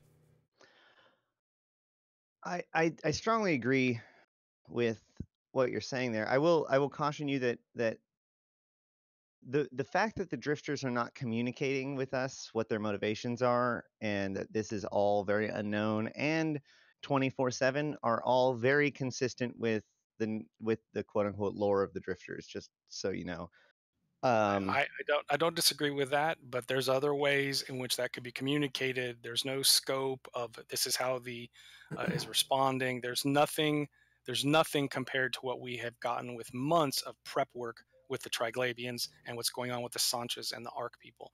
We've heard nothing, which is a very different approach as far as lore wise. Forget about whether drifters talk to us. Like, what's the Concord response? What's the DED response? What is all of that? There's been nothing. Actually, the DED did get, uh, offer uh, Concord did offer a formal response uh, to the Capsuleers uh, when they requested for help, which was basically pirate scums can go deal with themselves. We're dealing with the Triglavians. Uh, I didn't know but- that. that being said, uh, I all that said, I I agree with you. Like this is bonkers, and that like there this is completely unsustainable. It be for no other reason because like okay, let's say CCP implements this, and they're just, like they release a dev blog, and they're like, congratulations, this is your new universe. We're just gonna attack you with drifters from now on. Enjoy. Then what that would mean is, what would that mean for the meta? What that would mean is, is that only supers and titans can rat. Do you want that? I don't want that. CCP doesn't want that. So that alone tells me that this can't be the permanent life of Null. It seems to be changing too, right? I mean, what happened last week is different. Uh, maybe the same net result, but uh, this week the drifters have gone after uh, not just structures, but people in systems. Like they've actually gone after anomalies, for instance, where people rat. And I don't know, where did you get that you can still rat in a super or a. Because, um, uh, well, I mean, you're right. This is only r- reports, but I've heard that, su- and I've seen like a super fighter die, but that's it. A super what? so, like a, their fighters, one of their fighters will show up on the kill board by by Tyrannos, but Mhm. then they'll be like, th- there's no super kill. I, I've so heard, I've heard, I've heard that, that I have heard that the drifters did take out uh, a Titan. Like I've, I've heard that. Don't know Well, they took out a hell in the first pack, but this new pack is actually the one that's just one drifter or one battleship with two uh, cruisers. Mhm. I've heard lots of different configurations of people uh, s- succeed against it. So I think that I, the the idea, the expectation would be that a super could defend itself against a drifter, but anything lo- lower than that almost certainly cannot. I, I think that's a far cry from it's safe to use super carriers to do NPC ratting. That's fair. Well, in that case, it's not safe to do NPC ratting. Nobody should rat. That'd be good. Like, no, that isn't going to work either. oh no, no, I see what you're saying. I mean, uh, your point remains. This has to be temporary because you can't shut down ratting for all of nullsec, or can you? I who the heck knows? I don't really know. I you c- y- I don't think you can because ADMs are tied to that. So like as this Mm. Yeah. goes on, everybody's empire is going to like start to dwindle if they're not right? out there ratting. Right. You're not maintaining it. Uh, Yep. Right. Because for people that don't know, that you have these things that are called infrastructure hubs. And in order to, and they regulate your defensiveness of your system. In other words, to take over your system, it takes longer if your iHub is stronger. And your iHub only gets stronger with a number of different criteria being met. One is the amount of mining that's done in the system. Two is the amount of activity ratting, we call it, where you're destroying NPCs. And the third one, what is the third one? The combat one, which It's is literally time. or time. Okay, thanks. The combat one was the NPCs. But the point is that your the security of your empire will decay if your people aren't out there mining, shooting things, and and uh, having time tick away while they do that. So all defenses uh, around nullsec, if everybody's oppressed and can't do their ratting or mining, all the defenses actually come down slowly. Right.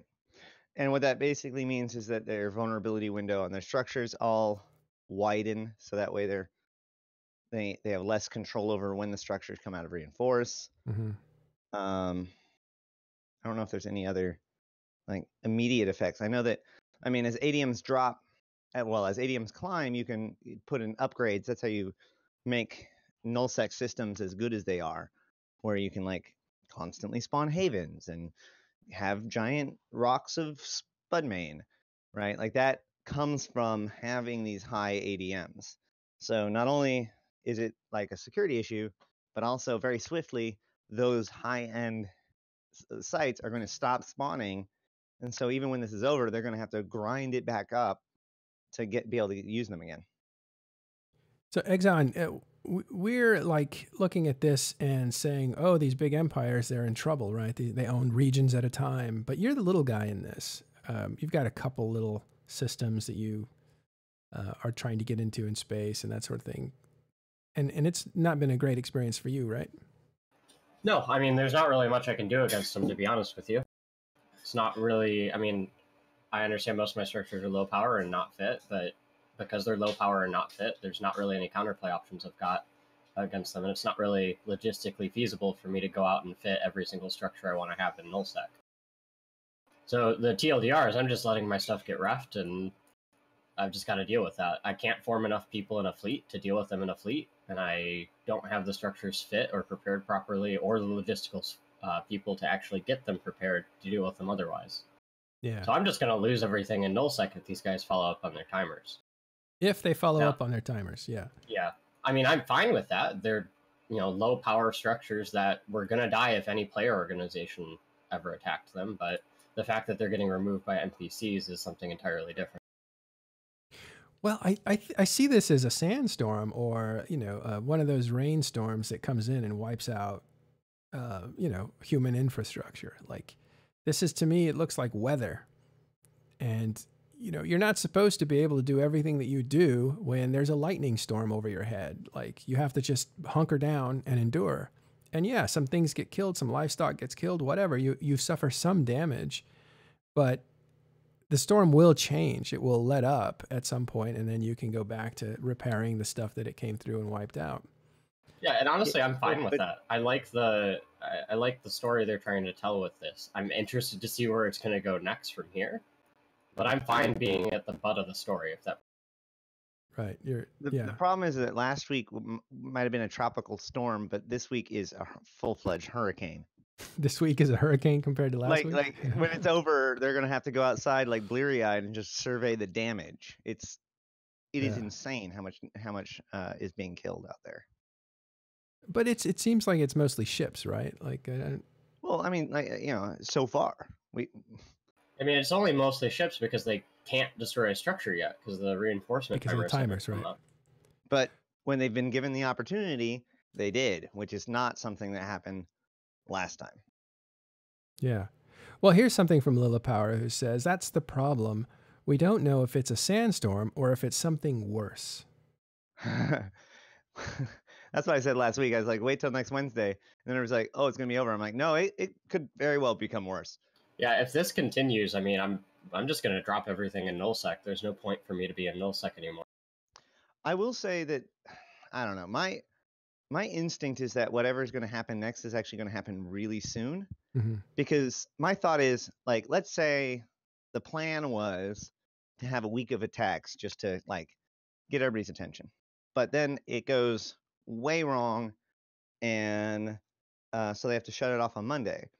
But if your next event is a response to that crazy attack, then you have to turn that crazy attack back on before you can do the response to it. If that makes sense. So I'm holding out hope that CCP still got like a plan for a transition that was supposed to happen this week that will happen like in the next day or two. Mhm. But I I'm think- grasping for straws at this point. I understand. I think with the uh, with the Sansha's Nation attacking, This is Teddy. signaling. Sorry. signaling next Hold on. Thing. T- Teddy, before you go on, can you introduce who you are so people know? I'm Teddy GBYC. I uh, I'm a director at Wormhole Corp. Thanks. Wormhole Corporation. Go ahead. Uh, I think it's just sig- like the attack on the Arataka research is probably signaling the like next stage coming now. You think it's a clue? Possibly. It might be premature for that because we do have a like everybody's really interested in that particular structure because it's the research laboratory of Arataka for the tra- uh, for the semiosis console, and all of the NPC actors know that. So while you're right, this could be you know like a a foreshock of the next thing. I I don't think that that necessarily suggests that a larger Sansha movement is immediate. Now that I've said that, I'm sure like as we speak, it's happening because CCP loves to make me wrong at this point. Well, uh, we shall see. I think the interesting dynamics. Uh, it's it, it also seems like uh, a lot of reactions have been very quick, and it's there's kind of a hysteria uh, or or a feeding of back and forth, back and forth, back and forth. There's a lot of energy, I think, uh, about this because I think anybody can have an opinion about it. So it allows anybody to say something and become another voice in the room. It's not just uh, for experts to say this is good, this is bad it's anyone can have an opinion about it. And those are the things that that um, players feel now they can participate because they know something about Eve Online. At the very least, this is from their perspective. So it's immune to criticism and correction and that sort of stuff. Um, that's All I know is that whatever's at the end of this road, CCP has better have a great idea because like they've gotten everyone's attention. Let's see what you got. Well, let's let's look at that though. Um, I was talking to, um, well, I can't say who, uh, but some people from North and from the East and the South as well. And they're all kind of handling it. Like, we haven't really heard a lot of them publicly criticize this um, more than once or twice. There's certainly no campaign about how it's this is ruining things. They're saying like, yeah, it's annoying. We're dealing. That's what I'm getting from other groups. Uh, are you? I, seems to me that Imperium's pretty frustrated. Legacy's pretty frustrated. Yeah. Uh, Goblins is frustrated with Horde. Uh, Sort is frustrated with uh, Darkness or whatever they're calling themselves up there. Um, NC uh, doesn't, uh, to, by their own admission, don't have a lot of structures that are being affected, but they're not in favor of this. So, yeah. Nor, well, but I don't know who is saying it's not a problem that is one of the larger groups in nullsec right now.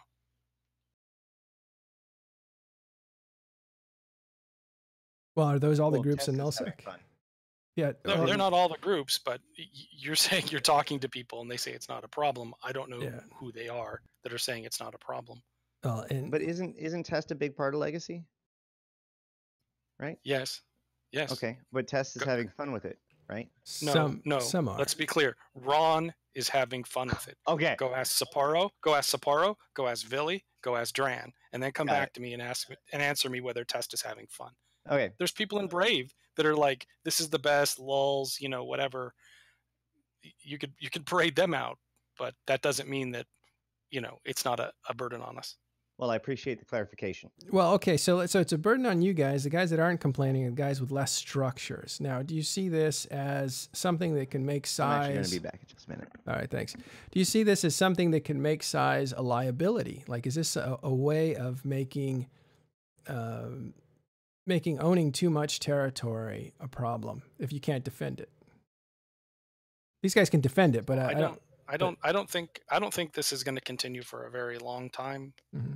Uh, if this became the new norm, that 24 hours a day in nullsec forevermore, you had to do this, uh, you would have people not playing the game. Uh, you would have people not playing the game. You think this will knock people outside the game?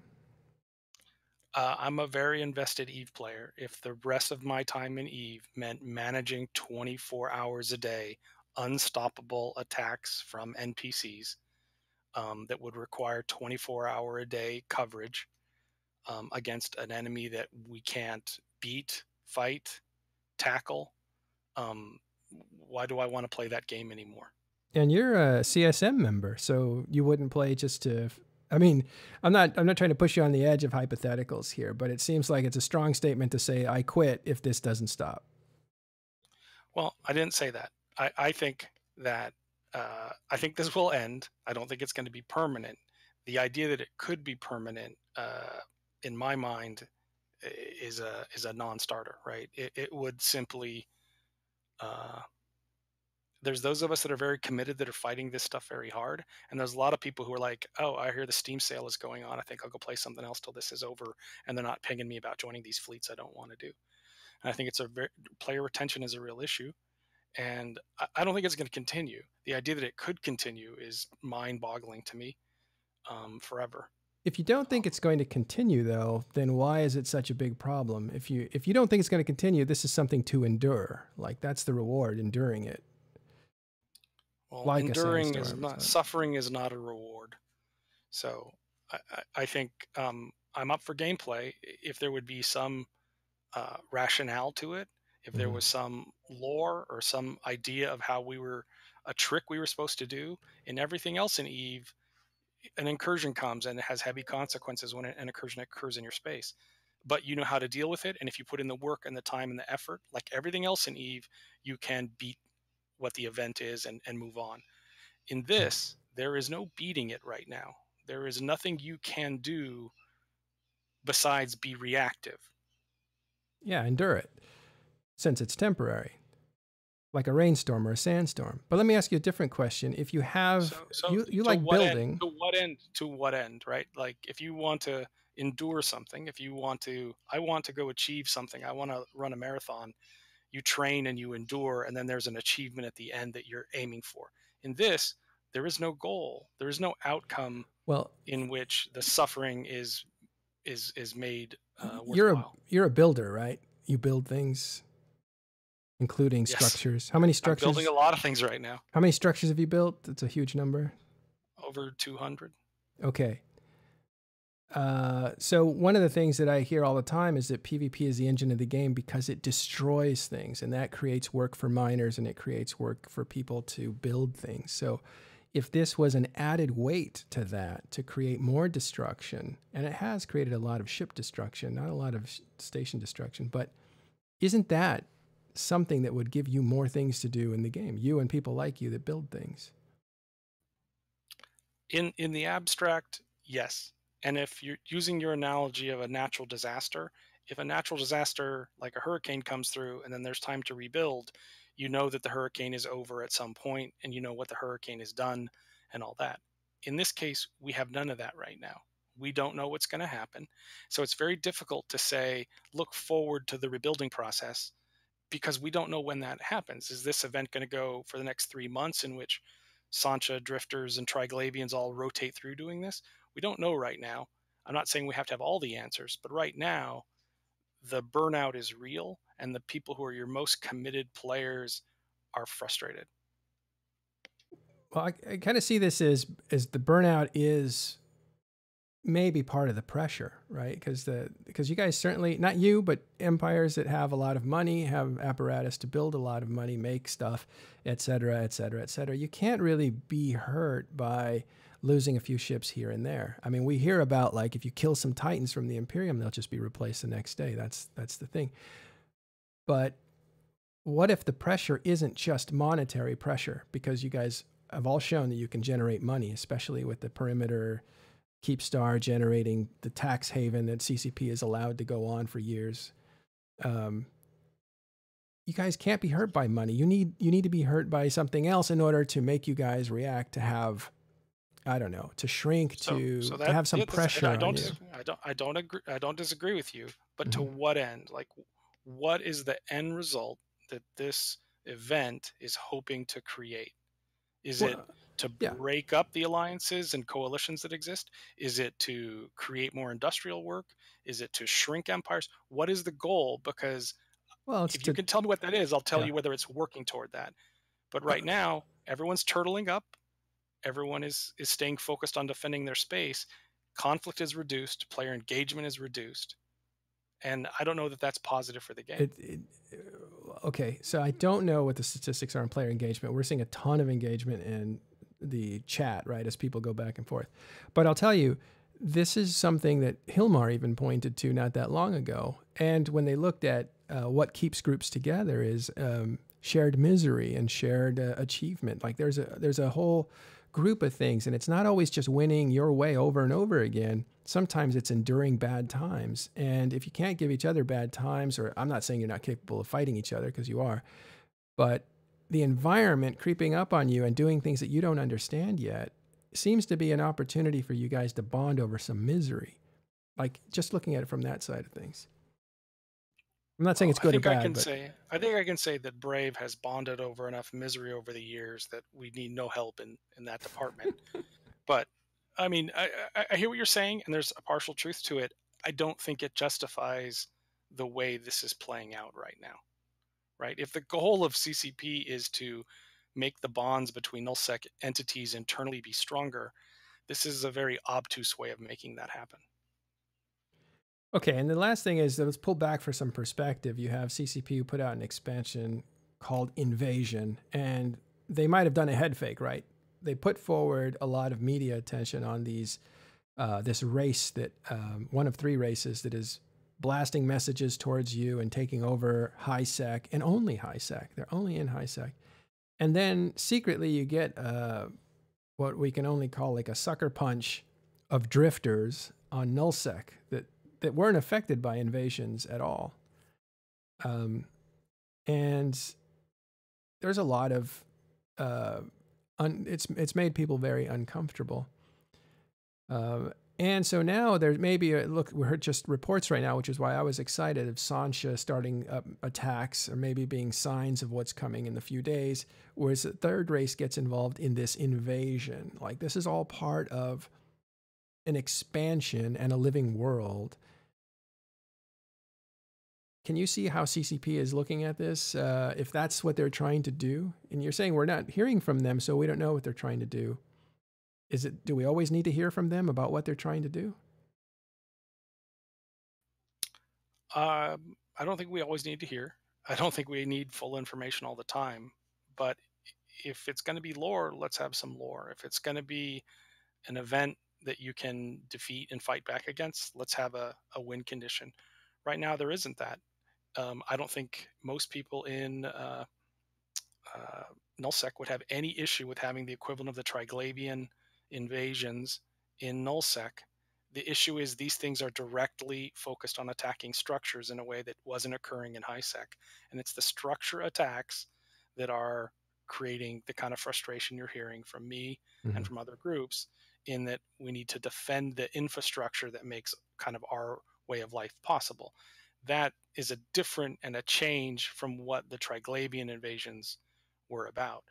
I don't think you'd hear any of this if the drifters were simply flying around killing ratters and people in space. It's the fact that they're attacking structures that is a, a huge swing that's a different uh, effect that we haven't really seen before. All right. Um, so now, I have Concord's response, by the way. Oh, let's hear it. As one anonymous source comments to Rhett Gloriax, quote, After all, we're concerned with the safety of decent citizens of civilized world. These Capsuleers warlords and pirate groups don't respect the law, so I guess they can look after themselves. End quote. uh, that's CCP uh, humor, uh, basically saying outlaws can, uh, well, GF. Um, but that's pretty funny. Uh, okay, so TFU. no, well. So I'm gonna I'm gonna check out. I appreciate the time to talk. I hope I haven't Thanks, frustrated too many people with my discussion. It's time for me to uh, finish my building, go out for a bike ride, and get away from Eve for a little bit. Yeah, have a great. So, uh, hope everyone has a good. All you Americans have a great holiday. All you British people, suck it.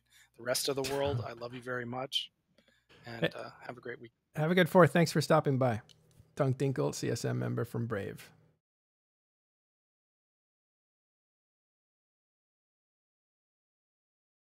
Well, I I um, was going to say one last thing about it, but it, it it's just not surprising to me. I just think there's a massive reaction because they're trying to send a message to they being um, parts of nullsec, trying to send a message to CCP that uh, this isn't this isn't fun for them. And I'm not sure that that's how Eve works. Like if it's not fun, again, if this was very rewarding, if people were able to kill these guys, uh, these uh, drifters, and get some reward out of it, I think you'd have the opposite reaction. You'd you'd hear um, people complaining that, "Hey, why are you feeding these guys more wealth? They already have enough wealth." So uh, you're not going to win either way. I find it somewhat illuminating that a lot of the nullsecers are looking at it from a purely mechanical point of view.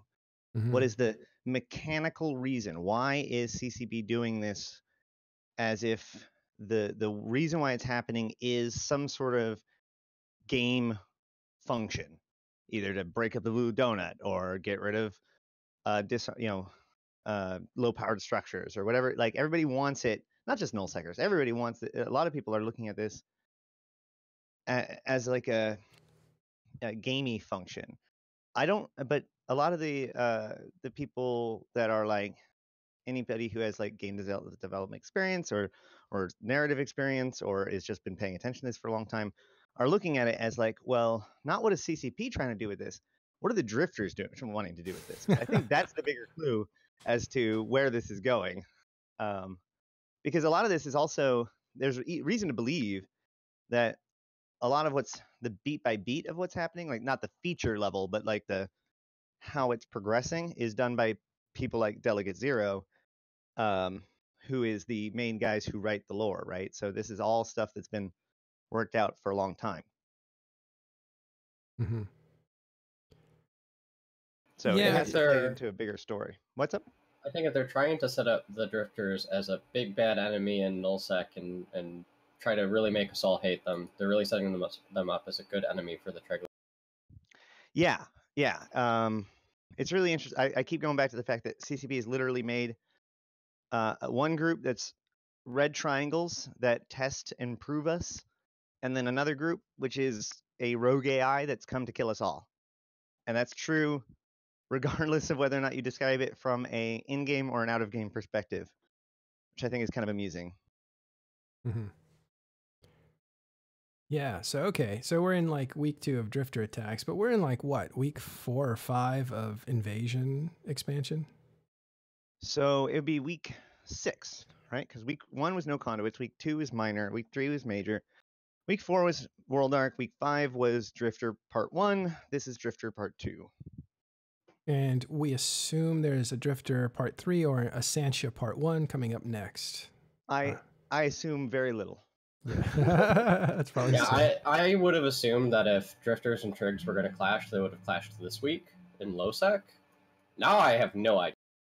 The biggest key, the only the only key that we have really right now, is that right before the Drifters attacked, the Triglavians sent us a different message that showed this what appears to be a structure, um, or uh, it might be a very odd ship, but it looks more like a structure of some kind. Um, and we haven't seen it manifest in the game yet. So um, I still stand by the idea that the Triglavians may in fact give us some sort of technology that will allow us to defend ourselves against some of these superpowers. Mhm. And I've even I've even mused at the fact that what if this is the way to kill local? Right? What if the end result is that Oh, drifters take down local and then you now need these towers to see who's around you? I don't know. I don't know. But Yeah. like Total speculation, people. yeah, uh, I mean, like that's the crazy thing about this is that like all of the paths that this could lead are all like crazy uh, scenarios because they've put in, they've rolled the dice so hard that it could almost lead anywhere, and that's why I say like, I just hope that CCP's follow up is as impressive as what a lot of these hints seem to be suggest. You know, they've they've anteed all in. They better be Mhm. holding something and not bluffing. Is, is all I'm saying. Yeah, I think if you're if you enjoy the lore in this game, you're probably having a field day right now because it's very very interesting. I I I'm having a field day because people are at least a little bit paying attention to these kinds of things. And um you know, like I wasn't always a, a big lore guy and I stayed out of it for a long time. The only reason why I got into the because Viridian wanted to do the know your lore segments of the Hydro- hydrostatic podcast and so I eventually just happened to be around lore guys enough that I knew what I was talking about or whatever if you want to argue that I do. Uh, but um, you know, I think that um, things like lore and things like story are very useful for personal investment Mhm. in a universe and a world, right? So the idea that like I know something and then that knowledge gets called back somehow in any way, then that ends up being a reward for a player. Like you can reward you're rewarding them for their knowledge. Yeah. It's like, like when you're in class and you're like, I know the answer to that. I'm going to raise my Right. hand. Oh, dude, I I know those guys, Yeah. right? You know, like I I get it. Yeah. So um, and I made a video about this a long time ago. So I think that that like it actually helps players uh, engage more with the story with with the game itself if they're engaged with the story. So I don't know whether or not this extreme of a situation um, is good in the long run or not. Probably not, but it does like that notion that you don't that the lore isn't important anymore, that that argument doesn't exist. Uh, so hopefully this means that some people will start looking into these things and realize how crazy things are, Mhm. right? Like I talk to people all the time, and it's not just like understanding, well, why are the drifters here with the Triglavians? What's the relationship there? But then when I explain like who exactly the drifters are and the other and all that stuff, they're like, this is incredible. I'm like, yeah, you're right, it is. So I don't know. I Yeah, definitely think it's gotten more people to pay attention to the lore lately, and more people into the lore. lately. I, I don't Yeah. think they appreciate it though. I don't. I don't think they're happy to do it. Um, well, Well, I, I'm, again, I'm, again, there, I'm there are broad leadership. strokes. There are people that look at this as, as a purely mechanical Yeah. system, and they couldn't be bothered with it. Yeah, I don't But- think it's mutually exclusive. I think you can hate the mechanics of this and still think the lore is pretty cool. Right, but what I'm saying is that there are people that are so mechanically focused that when you say like, "No, d- d- don't you understand? There's there's a reason for all this." They're like, "I don't give a shit. This sucks." You know what I mean? So Yeah, Yeah, that's Uh, what yeah, I and mean. I, I can't blame them for that too, because I mean, Yeah. even dealing with it on a small scale, it's it, Well, it's not been enjoying. It's not been improving my game. That's what gets me though, and this is where I, I have my own personal feelings at stake, which I'm trying to keep out. I'm, I've I've tried very hard to keep out of making jumping on one side or the other. I just play I just play as much of the devil's advocate as possible to sh- to to to stir up the conversation to get it going. And this one doesn't need a lot of stirring up, but my own personal feelings are there's a elitism not just about your style of PvP, but there's an elitism about your gameplay in general.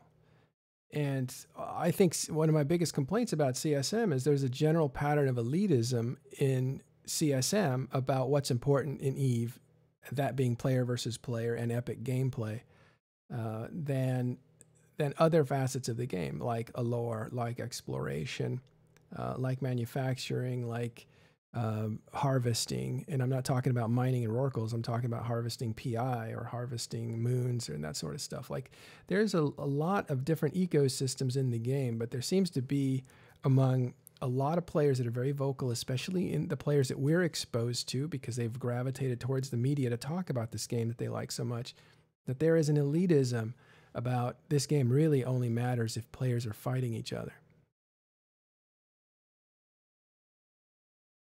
And that's my little rant.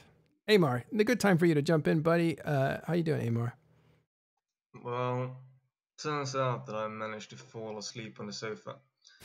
So, um, You've been taking having late nights, huh? yeah, um, I tend to be awake during the night lately, and now I'm trying to switch it back to be a more normal human being.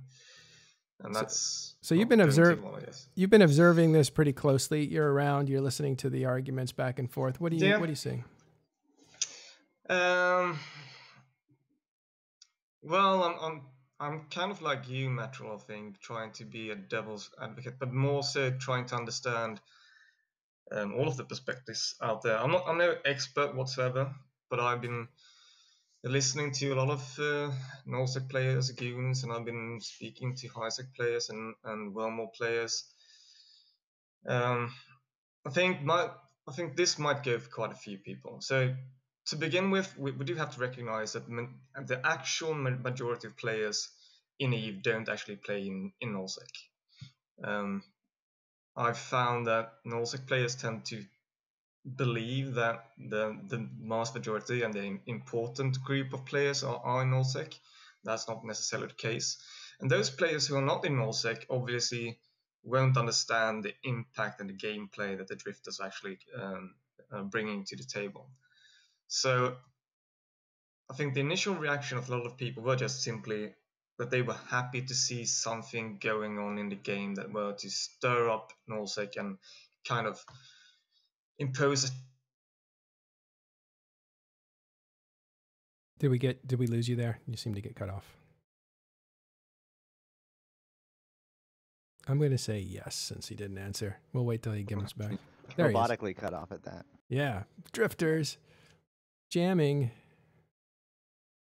Amar, Yeah, I'm I'm I'm, I'm affected as well. That's, Stru- that's horrible. struggle through. Go ahead. yeah, okay. So no, but um, there's a lot of people who have an outside perspective. They don't understand what's going on in Nullsec, and I think that the init- initial reaction was just that they were happy to see something going down. It kind of stirred things up, so we wouldn't have that stagnant, um, what a lot of people perceive to be a stagnant Nullsec, where they have been favored for a long time um, in Nullsec with, in terms of both uh, balance changes, um, like making ISK, um, all those kinds of aspects. I think Suitonia in his Reddit posts managed to summarize that very well. Why there was that kind of knee-jerk reaction from from all other corners of space. But um, gradually, as we we come to understand what's going on in Nullsec, I think more and more people are actually kind of agreeing that this is really bad gameplay and, and there's very little to benefit from it. Um, sure, we want to see maybe something radical to happen, like the way Hilmar said it on, um, in Eve Down Under. But if the end result is actually that people would rather prefer to just log off as opposed to play the game and play the game mechanics, um, but in my opinion, that's always going to be a bad iteration of, of uh, a game designing element, and that's what it looks to be in terms of drifters. Like my primary concern in this game is actually to keep people engaged, to keep people playing, um, make sure that we get more people into the game. And I think the, the closest resemblance I have to what I perceive the drifters to be now is the previous war dec mechanics we had in HiSec, where basically you had such a loop-sided, is it called lopsided? Yeah, um, lopsided. Mm-hmm. Kind of, lopsided kind of future where the ones that are being um, exposed to it or have to deal with it. The where like the best alternative is basically just to log off because there's there's no reasonable way to really oppose it in any form that is entertaining or challenging or or rewarding.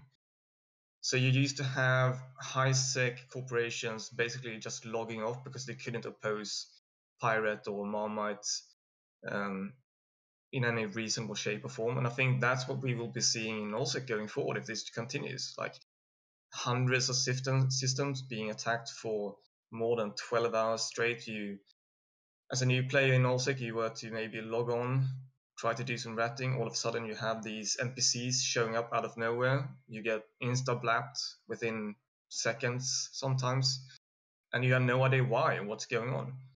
And well, that's just going to piss people off and make them log off. And I think that's bad.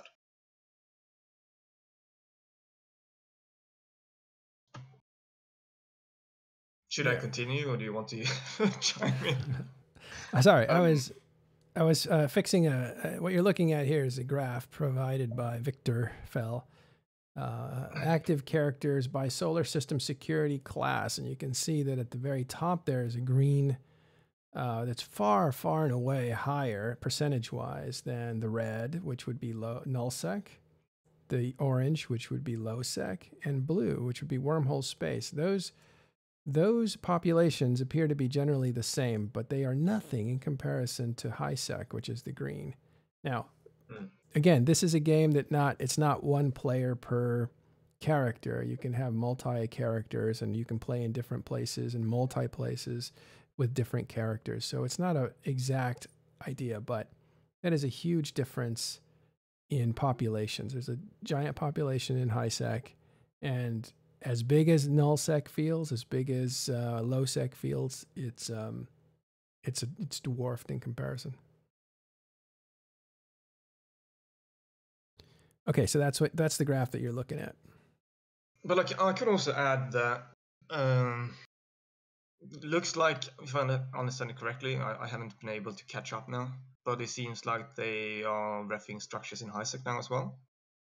Is that that's, the latest that, news? That's news to me. Where are you hearing No, that? there was a there was an event in um, which Arataka Research Consortium's structures were reinforced by Sansha's in uh, rats. Dif- different group. So, so that that you can look at that as like a foreshadowing of things yeah. to come. Setting up kind of thing. I understand.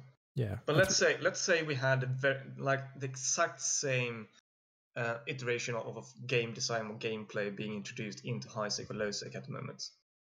Uh, I I believe that you would see the same kind of reactions coming out of those areas as well, where where people would just log off and and just rather not engage in this gameplay because Well, it but- seems to be that kind of broken. Okay, so you so you log in, you seem jammed up. Your guys don't want to go out and fight or do something like that. And we know that nullsec players have other characters in different places. Can they do something hmm. in highsec in the meantime? Can they do something in wormholes in the meantime? Or Yeah, they could, but I mean, it it, it goes back to the same argument. You know, like we we've been talking about once again the the the Vortex in Highsec. Like you could say the same thing. Like, of, of course, maybe a Highsec character, a new player in Highsec, doesn't necessarily have a wormhole character or an Nullsec character. Mhm. But I also think that's a that's a quite bad thing to base expected gameplay on. Like you you're supposed to have more than one character in different areas of space in order to enjoy the game and be able to engage and, and be active. So I mean, sure, you could you can make that argument, but I don't think that's very viable actually. I don't know. Does I make sense? personally don't do multiple accounts, but I, I do have a high sec character and null sec character, so I can kind of see both sides of it here. I think that uh, null sec historically are it. You can kind of compare it to Twitter. There's billions of human beings living on the planet their whole lives. They just kind of hunker down and do their thing, and that's cool. And then you've got the loud, angry voices out there, and that's frankly nullsec. If if I'm being completely unbiased here, that is nullsec. Nullsec is the headline grabbers and all that stuff, but you know you can't really dispute the graph. Highsec is the majority of the player base. I think it always will be. Yeah, as Lex said, vocal minority. And wow, are we vocal sometimes? In all fairness. Yeah, it seems to be uh, uh, outsized at the moment. Let me let in somebody who's also been in um, crew, uh, sorry, inside of the public chat all week. And again, he's an original TIS member, uh, Caleb. Uh, and Caleb and Ashterothi actually were the ones going back and forth for a lot of people chiming in and giving information. So welcome, Caleb. Thanks, guys. Uh, I just actually wanted to ask Astaroth something because this ties into something he was talking about on stream yesterday, and I found it really interesting. Uh, the whole having alternate uh, characters and multiple accounts, uh, and he was talking about the taxonomy and the classification of uh, the player base. And I don't know about you, but I'm not necessarily a dedicated one style player, right? And if I play any other MMO, like if I'm playing World of Warcraft, I do not only stick to one class. I will have alts, and I will be ready to do tanking or uh, healing if necessary, right? And and and in Eve, I don't always feel like sitting around doing market stuff, right? Well, it, it's cozy because it makes it possible to do all the meta. But what I'm hinting at is the multiple account is pretty much what you get to when you have been here for a year, two or three or more. Of course, there's still single dedicated one class only players, but I don't think they're the majority. I, I agree with you. Humans are complex, and so they'll be doing different things at different times with different motivations. Um, I want to clarify that Bartle's taxonomy isn't necessarily about any one task. It's about more about motivation. Yeah, I know that. killer- I just think that they're related in Eve because Eve is so meta, right? Sure. But I would say that there's like there's a lot of achievers and achiever like stuff in Eve. There's plenty of numbers going up. There are plenty of people comparing their numbers. Um, and that manifests itself in many different ways. And then there's also a lot of killers in Eve. There, there's a lot of people that like to know that their beating of the other person has caused distress to those people or has disrupted Sadistic. what they want to do. Sadistic tendencies. I wouldn't go so far as to say sadistic tendencies. Yeah, there, it's the it's the desire to impact other other people. In a negative way. Um, usually in a negative way. Yeah. Yeah, it's an adre- adrenaline felt win, right? And and we all like to win. The the, the Yeah. things that we're Yeah, good do. at when we when we when we do that on on behalf of uh, other players. Of course, there's an evil or nasty element, but we all agree it's consensual, right? Uh, this this NPE thing is not real. Uh, sorry, NPC thing is not consensual, but but usually gameplay is consensual. And and when you log into Eve, you know what you can expect, and pretty much everyone agrees that that's okay. I don't agree that that's okay. I think that's part of the problem is that when you log in, you know what to expect. Mm-hmm. But to, to be People though, have shifted the goalposts on what to expect over the years. It's not like it's been this static thing. As I've said several times in text and voice, the expectations of Eve have changed year after year after year. A 2000, a current player new to the game would completely lose their mind on the kind of stuff that happened from 2003 to 2005, for example. And vice Well, what versa, I- to be honest. what what I'm thinking is that um, I think it, pretty much every single PVE element in Eve is opt-in, apart from Drift or Wormholes, I guess, maybe because the you can go into one of those and you can get completely hammered. But you can just compare this the way they introduced drifters into Nullsec, the way they did it with the Triglavians in Highsec. So I think the majority of people believe that the way they did Triglavians in Highsec, the invasions, is absolutely amazing. Like the lore build up, the way they, the, the mystery of how they sneaked in the videos, and we had the the uh, is it called the Ark or whatever it's called, the big- the big ship that turned up in that room in Abyssal Dead Space. But you also have a thing Yeah, like the if you World go Art in, construction site. Yeah, I mean that that introduction was amazing in my opinion. Um, but the, the drifters they ca- came out of the blue. Like there's no, there's, there was no real context apart from that. We have the invasions going on, and, and they have relations with the Triglavians going back in history and all that kind of stuff. But also from a gameplay perspective, like if you go into when you're about to go into Triglavian invasion zone, you know that that's what's about to happen. Like you have it in um, the activity tracker uh, with Triglavian systems. You also get a warning before you jump through the gate, the same way you get a warning before you go into into a Wormhole space, for example. Um, you also get like uh, um, compared to incursions, it is very clear that you've now entered an incursion system. This is dangerous. If you don't want to participate in this stuff and you don't want to take that risk, Mhm. you can actually opt out of doing it. And you, you don't get an option in, in Nullsec at the moment. You just Well, get drifters spawn you. They used to say, uh, and, and Dirk MacGirk says it very well here undocking, uh, you consent to PvE when you undock. And that's uh, That's pretty flipping flipping on its head what they used to say is, hey, you consent to PvP when you undock. I And now it's remember that. I've been- I I've been remember saying that- using that on people quite a bit back in the day. Yeah. So my devil's advocate for that is do we really want nullsec to be as safe and secure and predictable and and the signpost is clear than as highsec? Like No. highsec gets Abs- warnings Absolutely not. because they're because they're highsecers. Nullsecers don't get warnings because you're hardcore, right? No, but I, don't think that's okay. Yeah, I understand what you're saying now, and I, I agree that nullsec should not be as safe as highsec or lowsec. It should be dangerous. That's why you have high rewards in in nullsec. That was the basis, wasn't it, for for CCP Seagull? She had that kind of agenda where if you do dangerous stuff, you're gonna get better rewards from doing it. And I Mhm. think a lot of people believe that nullsec has become way too safe. Like it's the safest place in Let- Eve because you have the super umbrellas and it's difficult to get in there and whatever. Let me bring in, because we're going to wrap up soon, but uh, Vily from uh, Test, he's their leader, uh, military leader, and also a CSM member. So if his mic is on, Well, he'll be joining Just us. listening to uh, what you're talking about now, I would argue that y- your base assumption is incorrect. So it questions the validity of the rest. You make the claim that nullsec is the safest place to be in Eve, and yet ignore the fact that more is lost in nullsec than any other place. Well, No, I- uh, that's not really evidence of being. Well, yeah, go ahead. Yeah, th- th- I, um, what I'm trying to get at is the perception of Nullsec being the safest place in Eve.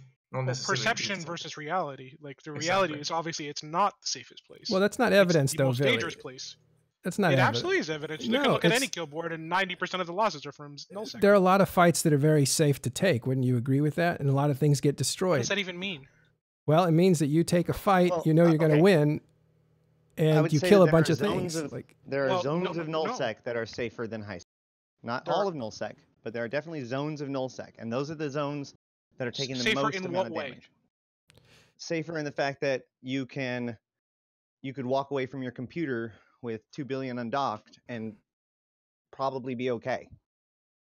The you know you don't have like if you're in the heart of a empire ratting, your chances of having huge problems is not that big of uh, not that I I actually let me let me actually say I'm not leaning into the actual argument of which side is safer than the other. I'm just saying that that there are regions of nullsec that are pretty darn safe, um, especially from player actions.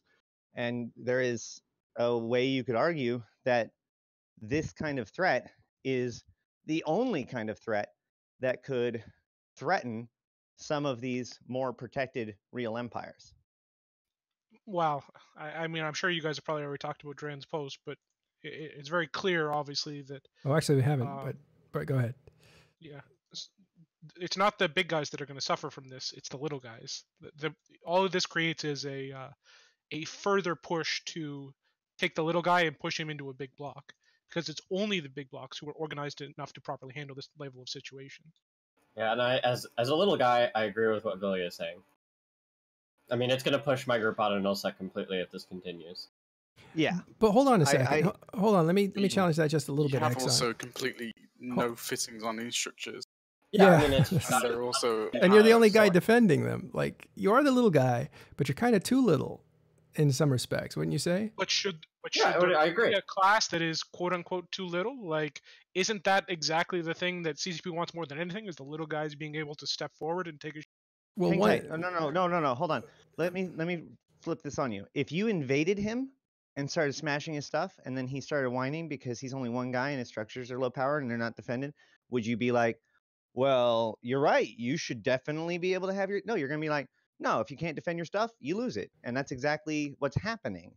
It's just but players haven't been able to put constant pressure on other players in the same sort of way. Oh, maybe that's the question: is the, the should well, the, but that's the other thing. Like you Yeah. have to understand is that no player could ever do what the drifters have done. I agree. Like it, it would literally be impossible for like. I- I don't know if you guys know what was happening in the fraternity war before this all started, but like Mhm. I was coordinating 30 plus attacks a day at one point. Like and that is like far above any level of coordination that Eve has ever seen. And you know, we're now looking at attacks in the several hundreds per day, right? Like like the context level is so insanely different that it's um, and on top of that all of my co- you know coordination and attacks required people and planning and time and members and like money and losses and everything else well the drifters require none of those things they don't even drink water, and you can't We don't even negotiate have with voice them. boxes. and you can't spy on them either to know what they're gonna do. That actually bothers me. That well you- Uh, i mean you can make jokes about spying but you know no more than fraternity could when if you properly um if you properly separate and utilize you know um, need to know and you know decentralize the information enough spying becomes very difficult as well I mean, Yeah. I, th- I think it's I think it's hard to argue uh, actually to argue against the fact that the way that the drifters have been implemented is quite oppressive. Not just quite. Like when you, if you look at the extent of the attacks and and the way they are doing it, it's completely overwhelming for any type of entity. So if, if like my realization uh, last night when we were talking about it again uh, was that if I was an null-sec player myself uh, in null-sec, line member or something of the sort, and I wasn't part of the defensive fleet that had to deal with this, like there's there's no way I would actually undock and go into space. Even as a as a as a kind of like small gang roamer sometimes, there's no way I'm going into nullsec now. I mean, I would love to go into uh, Delve now and try to shoot some goons or go into uh, Pandemic Horde tier to, to, to get some good fights. But there's no way I'm going to do that because the risk of just dying on a gate now to drifters is just way too big. It's- well it's it, it's shut down all you know pve um, activities aside from Rorqual mining and super because they're the only uh, ships that don't get instantly volleyed by fucking drifters Yeah, and I see what you mean. There, when when two groups go to war, they're picking targets. There's a strategy to it. You're seeing this as a as a complete flat attacks everywhere menace, right? Well, it's like a hurricane. You like the, you just batten down the hatches and try to hold on. But if the hurricane continues for a time frame, you know, in excess, people will just choose to stop logging into a hurricane right? Like you know, right now, like all the alliances in Eve are like they're they're holding the doors, keeping the hurricane out. But sooner or later, you know, the strength in the arms goes out and the doors open, and at that point, people just start giving up. And as soon as people start giving up, people stop logging in and people start quitting. Like it's a very simple. People don't come out after a hurricane and clean up and rebuild. Not if they know that there could be another hurricane tomorrow with the same ferocity. Like just in Florida, like or yeah, it's Florida, I think. You know, if it's a very quick, short hurricane and they can handle it, sure, they'll they'll go out and rebuild. But most people fucking move. If if the hurricane is so bad that it tears down everything they could and they have no way to stop it, no way to predict it. You sound a- like somebody who's never been to Florida. I have. Well, but the allegory is, is valid, right? Once Yeah. you have had a hurricane, it's very much not likely to happen again for at least a while. So you have a chance to actually recuperate. You don't have that here. I, I mean- 2018, anyone? I would I would go about it a oh, different yeah, way, too which many- is that I'm shutting some people voice. voluntarily play Eve. They don't voluntarily live and, and go to their you know have their house and all that other stuff. Like they're not Right, so- you so it's rebuild after so a hurricane because that's your stuff. And in Yeah, Eve, exactly. it's like I'm going to go find another game. Well, exactly. So you're you're further making my point, I think. Yeah. hmm But I mean, we, we know that, like from from the war decs, we know that if people log off in in that kind of situation, there's a lot of people who actually don't log on again, and that's that could be a real problem. That could be a real problem. I don't want to see Indeed. it happening. Which is why this feature pretty much seems like a forced uh, rage break. Well, I, I listen. If if they want to kill their game, they're on course. Like exactly. But I, I- think that you could you could still do stuff to fix it. Like, um, I Oh, think uh, the concept itself, like having some kind of threat, the way we have a threat in in HiSec now with with the Triglavians, I think a lot of people will actually enjoy that. I think that could be could be a cool new. Um, well, the Triglavians and the addition. Drifters, the Triglavians and the Drifters are in. There's no comparison, right? Like yeah, they're entirely different things. They are they are completely uh, opposites of, of, of trying to implement the gameplay aspect into the game. And Like I think long, the way they've just done Drifters exist, PVE and Eve will be shut down for the most part in most of the no blocks because you can't be in a situation where if I warp to the belt in my rattlesnake or non super capital ship and I can be instantly killed, then I'm going to keep doing that, right? Because it takes what uh, 50 hours to rat up a carrier or something like that. So if the odds are greater that uh, I will be randomly killed between, you know, so let's say you want to double your risk at, at, at best, right? Or at minimum, I should say. So that means I have to be able to rat safely for 100 hours before I'm willing to take a carrier in, into the belts, right? So that that's the formula you need to be basically working with. But let's let's say if they were to implement the drifters in a way that's similar to, to the trigs in HiSec, or even like the forward operating bases that we can see with the diamond rats and that kind of stuff, all of a sudden you have a completely different type of gameplay element going into it. And that would probably be something that people would enjoy and think this is fun because then you can actually you can game it, you can actually um, kind of like achieve an objective, you can get rid of it, you can avoid it if you don't want to face it, while it still poses as a, as a potential threat in nullsec. But that's not the way it's been been been put into the game. Well, the overall concept might have some validity, but the point is that this has already been broken by by the nullsec entities, right? They figured out how to counter it, and it's not even fun. It's actually less fun than any other content in the game. Um, the, the on one of entities that are too, too trust me. small will not have the same option, right? They don't have the manpower to actually go out and defend their things. I mean, I've been hearing reports of different ways of attacking the uh, or defending yourself against the drifter, but Well- especially in the newer ver- version. Yeah, the, the old version versus the new version is very different. The, the new version is manageable for reasonable fleets, but the fact you have to send a reasonable fleet to do anything is significant.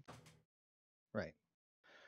If I may uh, say something that's slightly tangential to this, which is that um, so I keep hearing this. There's there's a comment about this in chat, whatever, about how like I give CCP too much credit because they don't follow up on their stuff and their lore sucks and they haven't done anything since Caroline Star and they just let all their stuff lay fallow.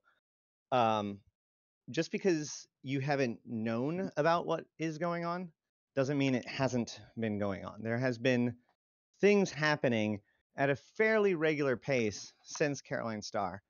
And we can trace everything that's happening right now all the way back to that event and before. Um, so I'm just I'm assuring you guys that CCP has done actually a pretty bang up job of managing the story for the last three or four years. They did have a pretty significant setback with the Drifter AI in the early days, and so a lot of the uh, that storyline had to kind of pause and and go into the back burner when it was ramping up real quickly. But other than that, like there has been there has been a lot of stuff going on. So the idea that there isn't is totally a misnomer. Um, also, as far as following up and whatnot, I believe I agree that that's been true in the past. However, with basically all of the features that they've released since and including Abyss, they have done uh, a pretty incredible job of following up with bug fixes, tweaks, changes. In invasion has changed changed several times a week for the first like couple of weeks as they were tweaking things and dialing it in di- directly.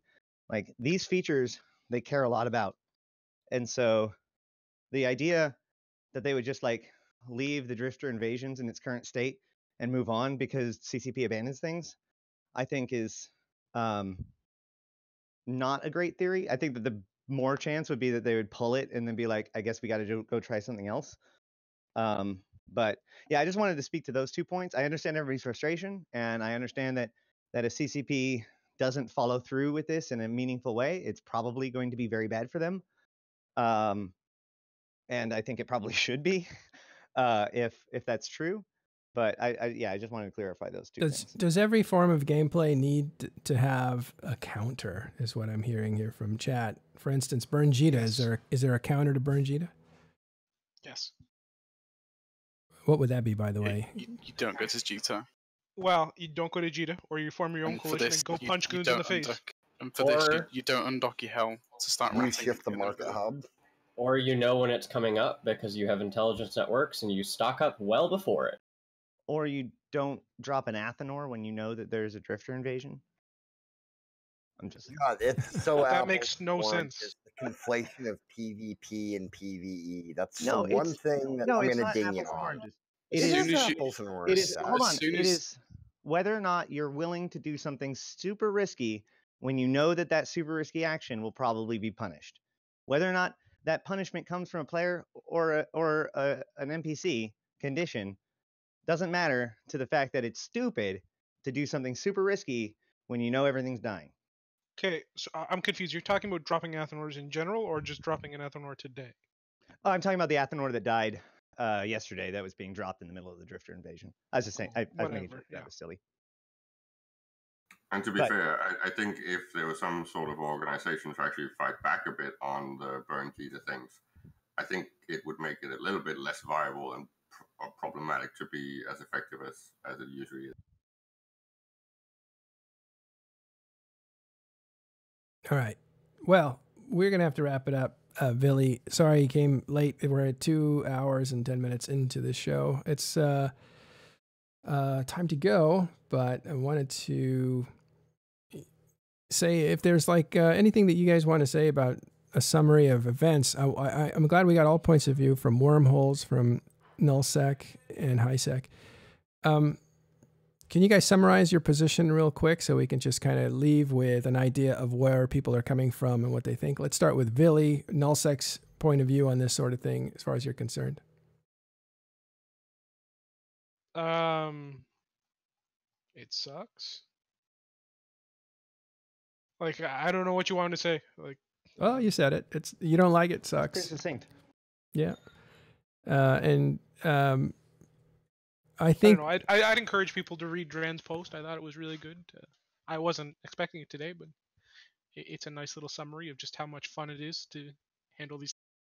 Dran is the uh, diplomat for Test Alliance, Uh, did you guys read, uh, Billy? Did you read Suitonia's post by any chance uh, a few days ago? What'd you think of that? Pretty worthless. Hmm.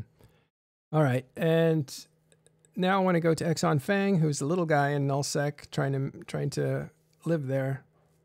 Your perspective. So we placed a lot of structures down, uh, fully knowing full well that if anyone was going to attack them, that they could probably kill them. But there was not really much consequence to dropping them. Just wherever you could could get them anchored successfully.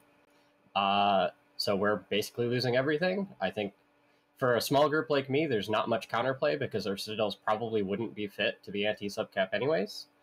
Uh, so it's kind of a wait and see and see if they actually follow up on the timers right now. But overall, I'm not too happy with it. All right, and uh, not that wormhole space is affected by this, but I want to hear from Teddy uh, your point of view on this, if any. Um, as soon as you undock from a station or a citadel, you should consider your ship dead, in my opinion. Um, and if you can't make peace with that, then probably shouldn't undock. All or right. does that extend to structures being anchored? And and Ashterothi, well, uh, Ashterothi, your last point of view on this. Uh, what do you think's going? What What do you think about this whole thing? I, I find it amazing. I think that um, what is happening to Null is extreme, and I feel for them greatly. Um, but overall, I am excited to see how this is going to play out. Um, I personally believe that CCP has something up their sleeve because they're getting our attention. Um, and beyond that, I'm I am excited to see these nullsec uh, reactions to uh, invasion or to their invasions because I think that there's been a lot of arguments about nullsec versus highsec in the last few days, and I think it'd be very interesting to see that test out instead of just be argued. Uh, we'll do uh, Amar. Your last thoughts on on where we are and what you think of the uh, what you think of the last few days. Um, I was honestly hoping for more when we had updates yesterday. I think um, CCP probably missed the mark in terms of uh, making it more balanced and making it actually worthwhile doing, so people would choose to log in and engage and actually have like I know there's some people who are saying that they're having fun doing it. Ron, for example, but he's an amazing guy in general. So Super optimistic. um, yeah, he is. Like there's there's no bad days with Ron. But um, no, I, I was hoping for more that like something that is not completely overwhelming, that isn't what I perceive as as broken. But I believe the concept is is is probably quite good, and it's it's it would be fun to see something like this being added to the game. But I, I don't think this is the way to do it.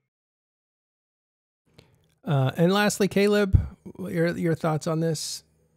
I'm just very worried about a feature that pretty much cock blocks all your big time and old time players when when players come back and are actually planning to play Evo the summer and they log in and the first thing that happens is that they get blapped by some unseen force and they then log off and say, okay, fine, I'm going to go play PUBG instead. That's really bad for CCP. This is a massive failure. Well, I think the perhaps most dangerous point is actually it's the new players it affects the most, since the only ones who are actually able to do any PVE right now are the old time players with supers and Rorquals, and the newer players cannot do anything PVE related without getting or having the threat of being insta. All right, we're going to leave it there. Thanks everybody for joining us. Really appreciate it. Stay tuned for Ashterothi, who's going to take you through some incredible gameplay he did yesterday. And if you want to hang out in public voice today with some friends and talk about EVE Online, please do. Talking in Stations Discord. You can find it at talkinginstations.com. Come into the public channel and hang out. Thanks everyone. Take care.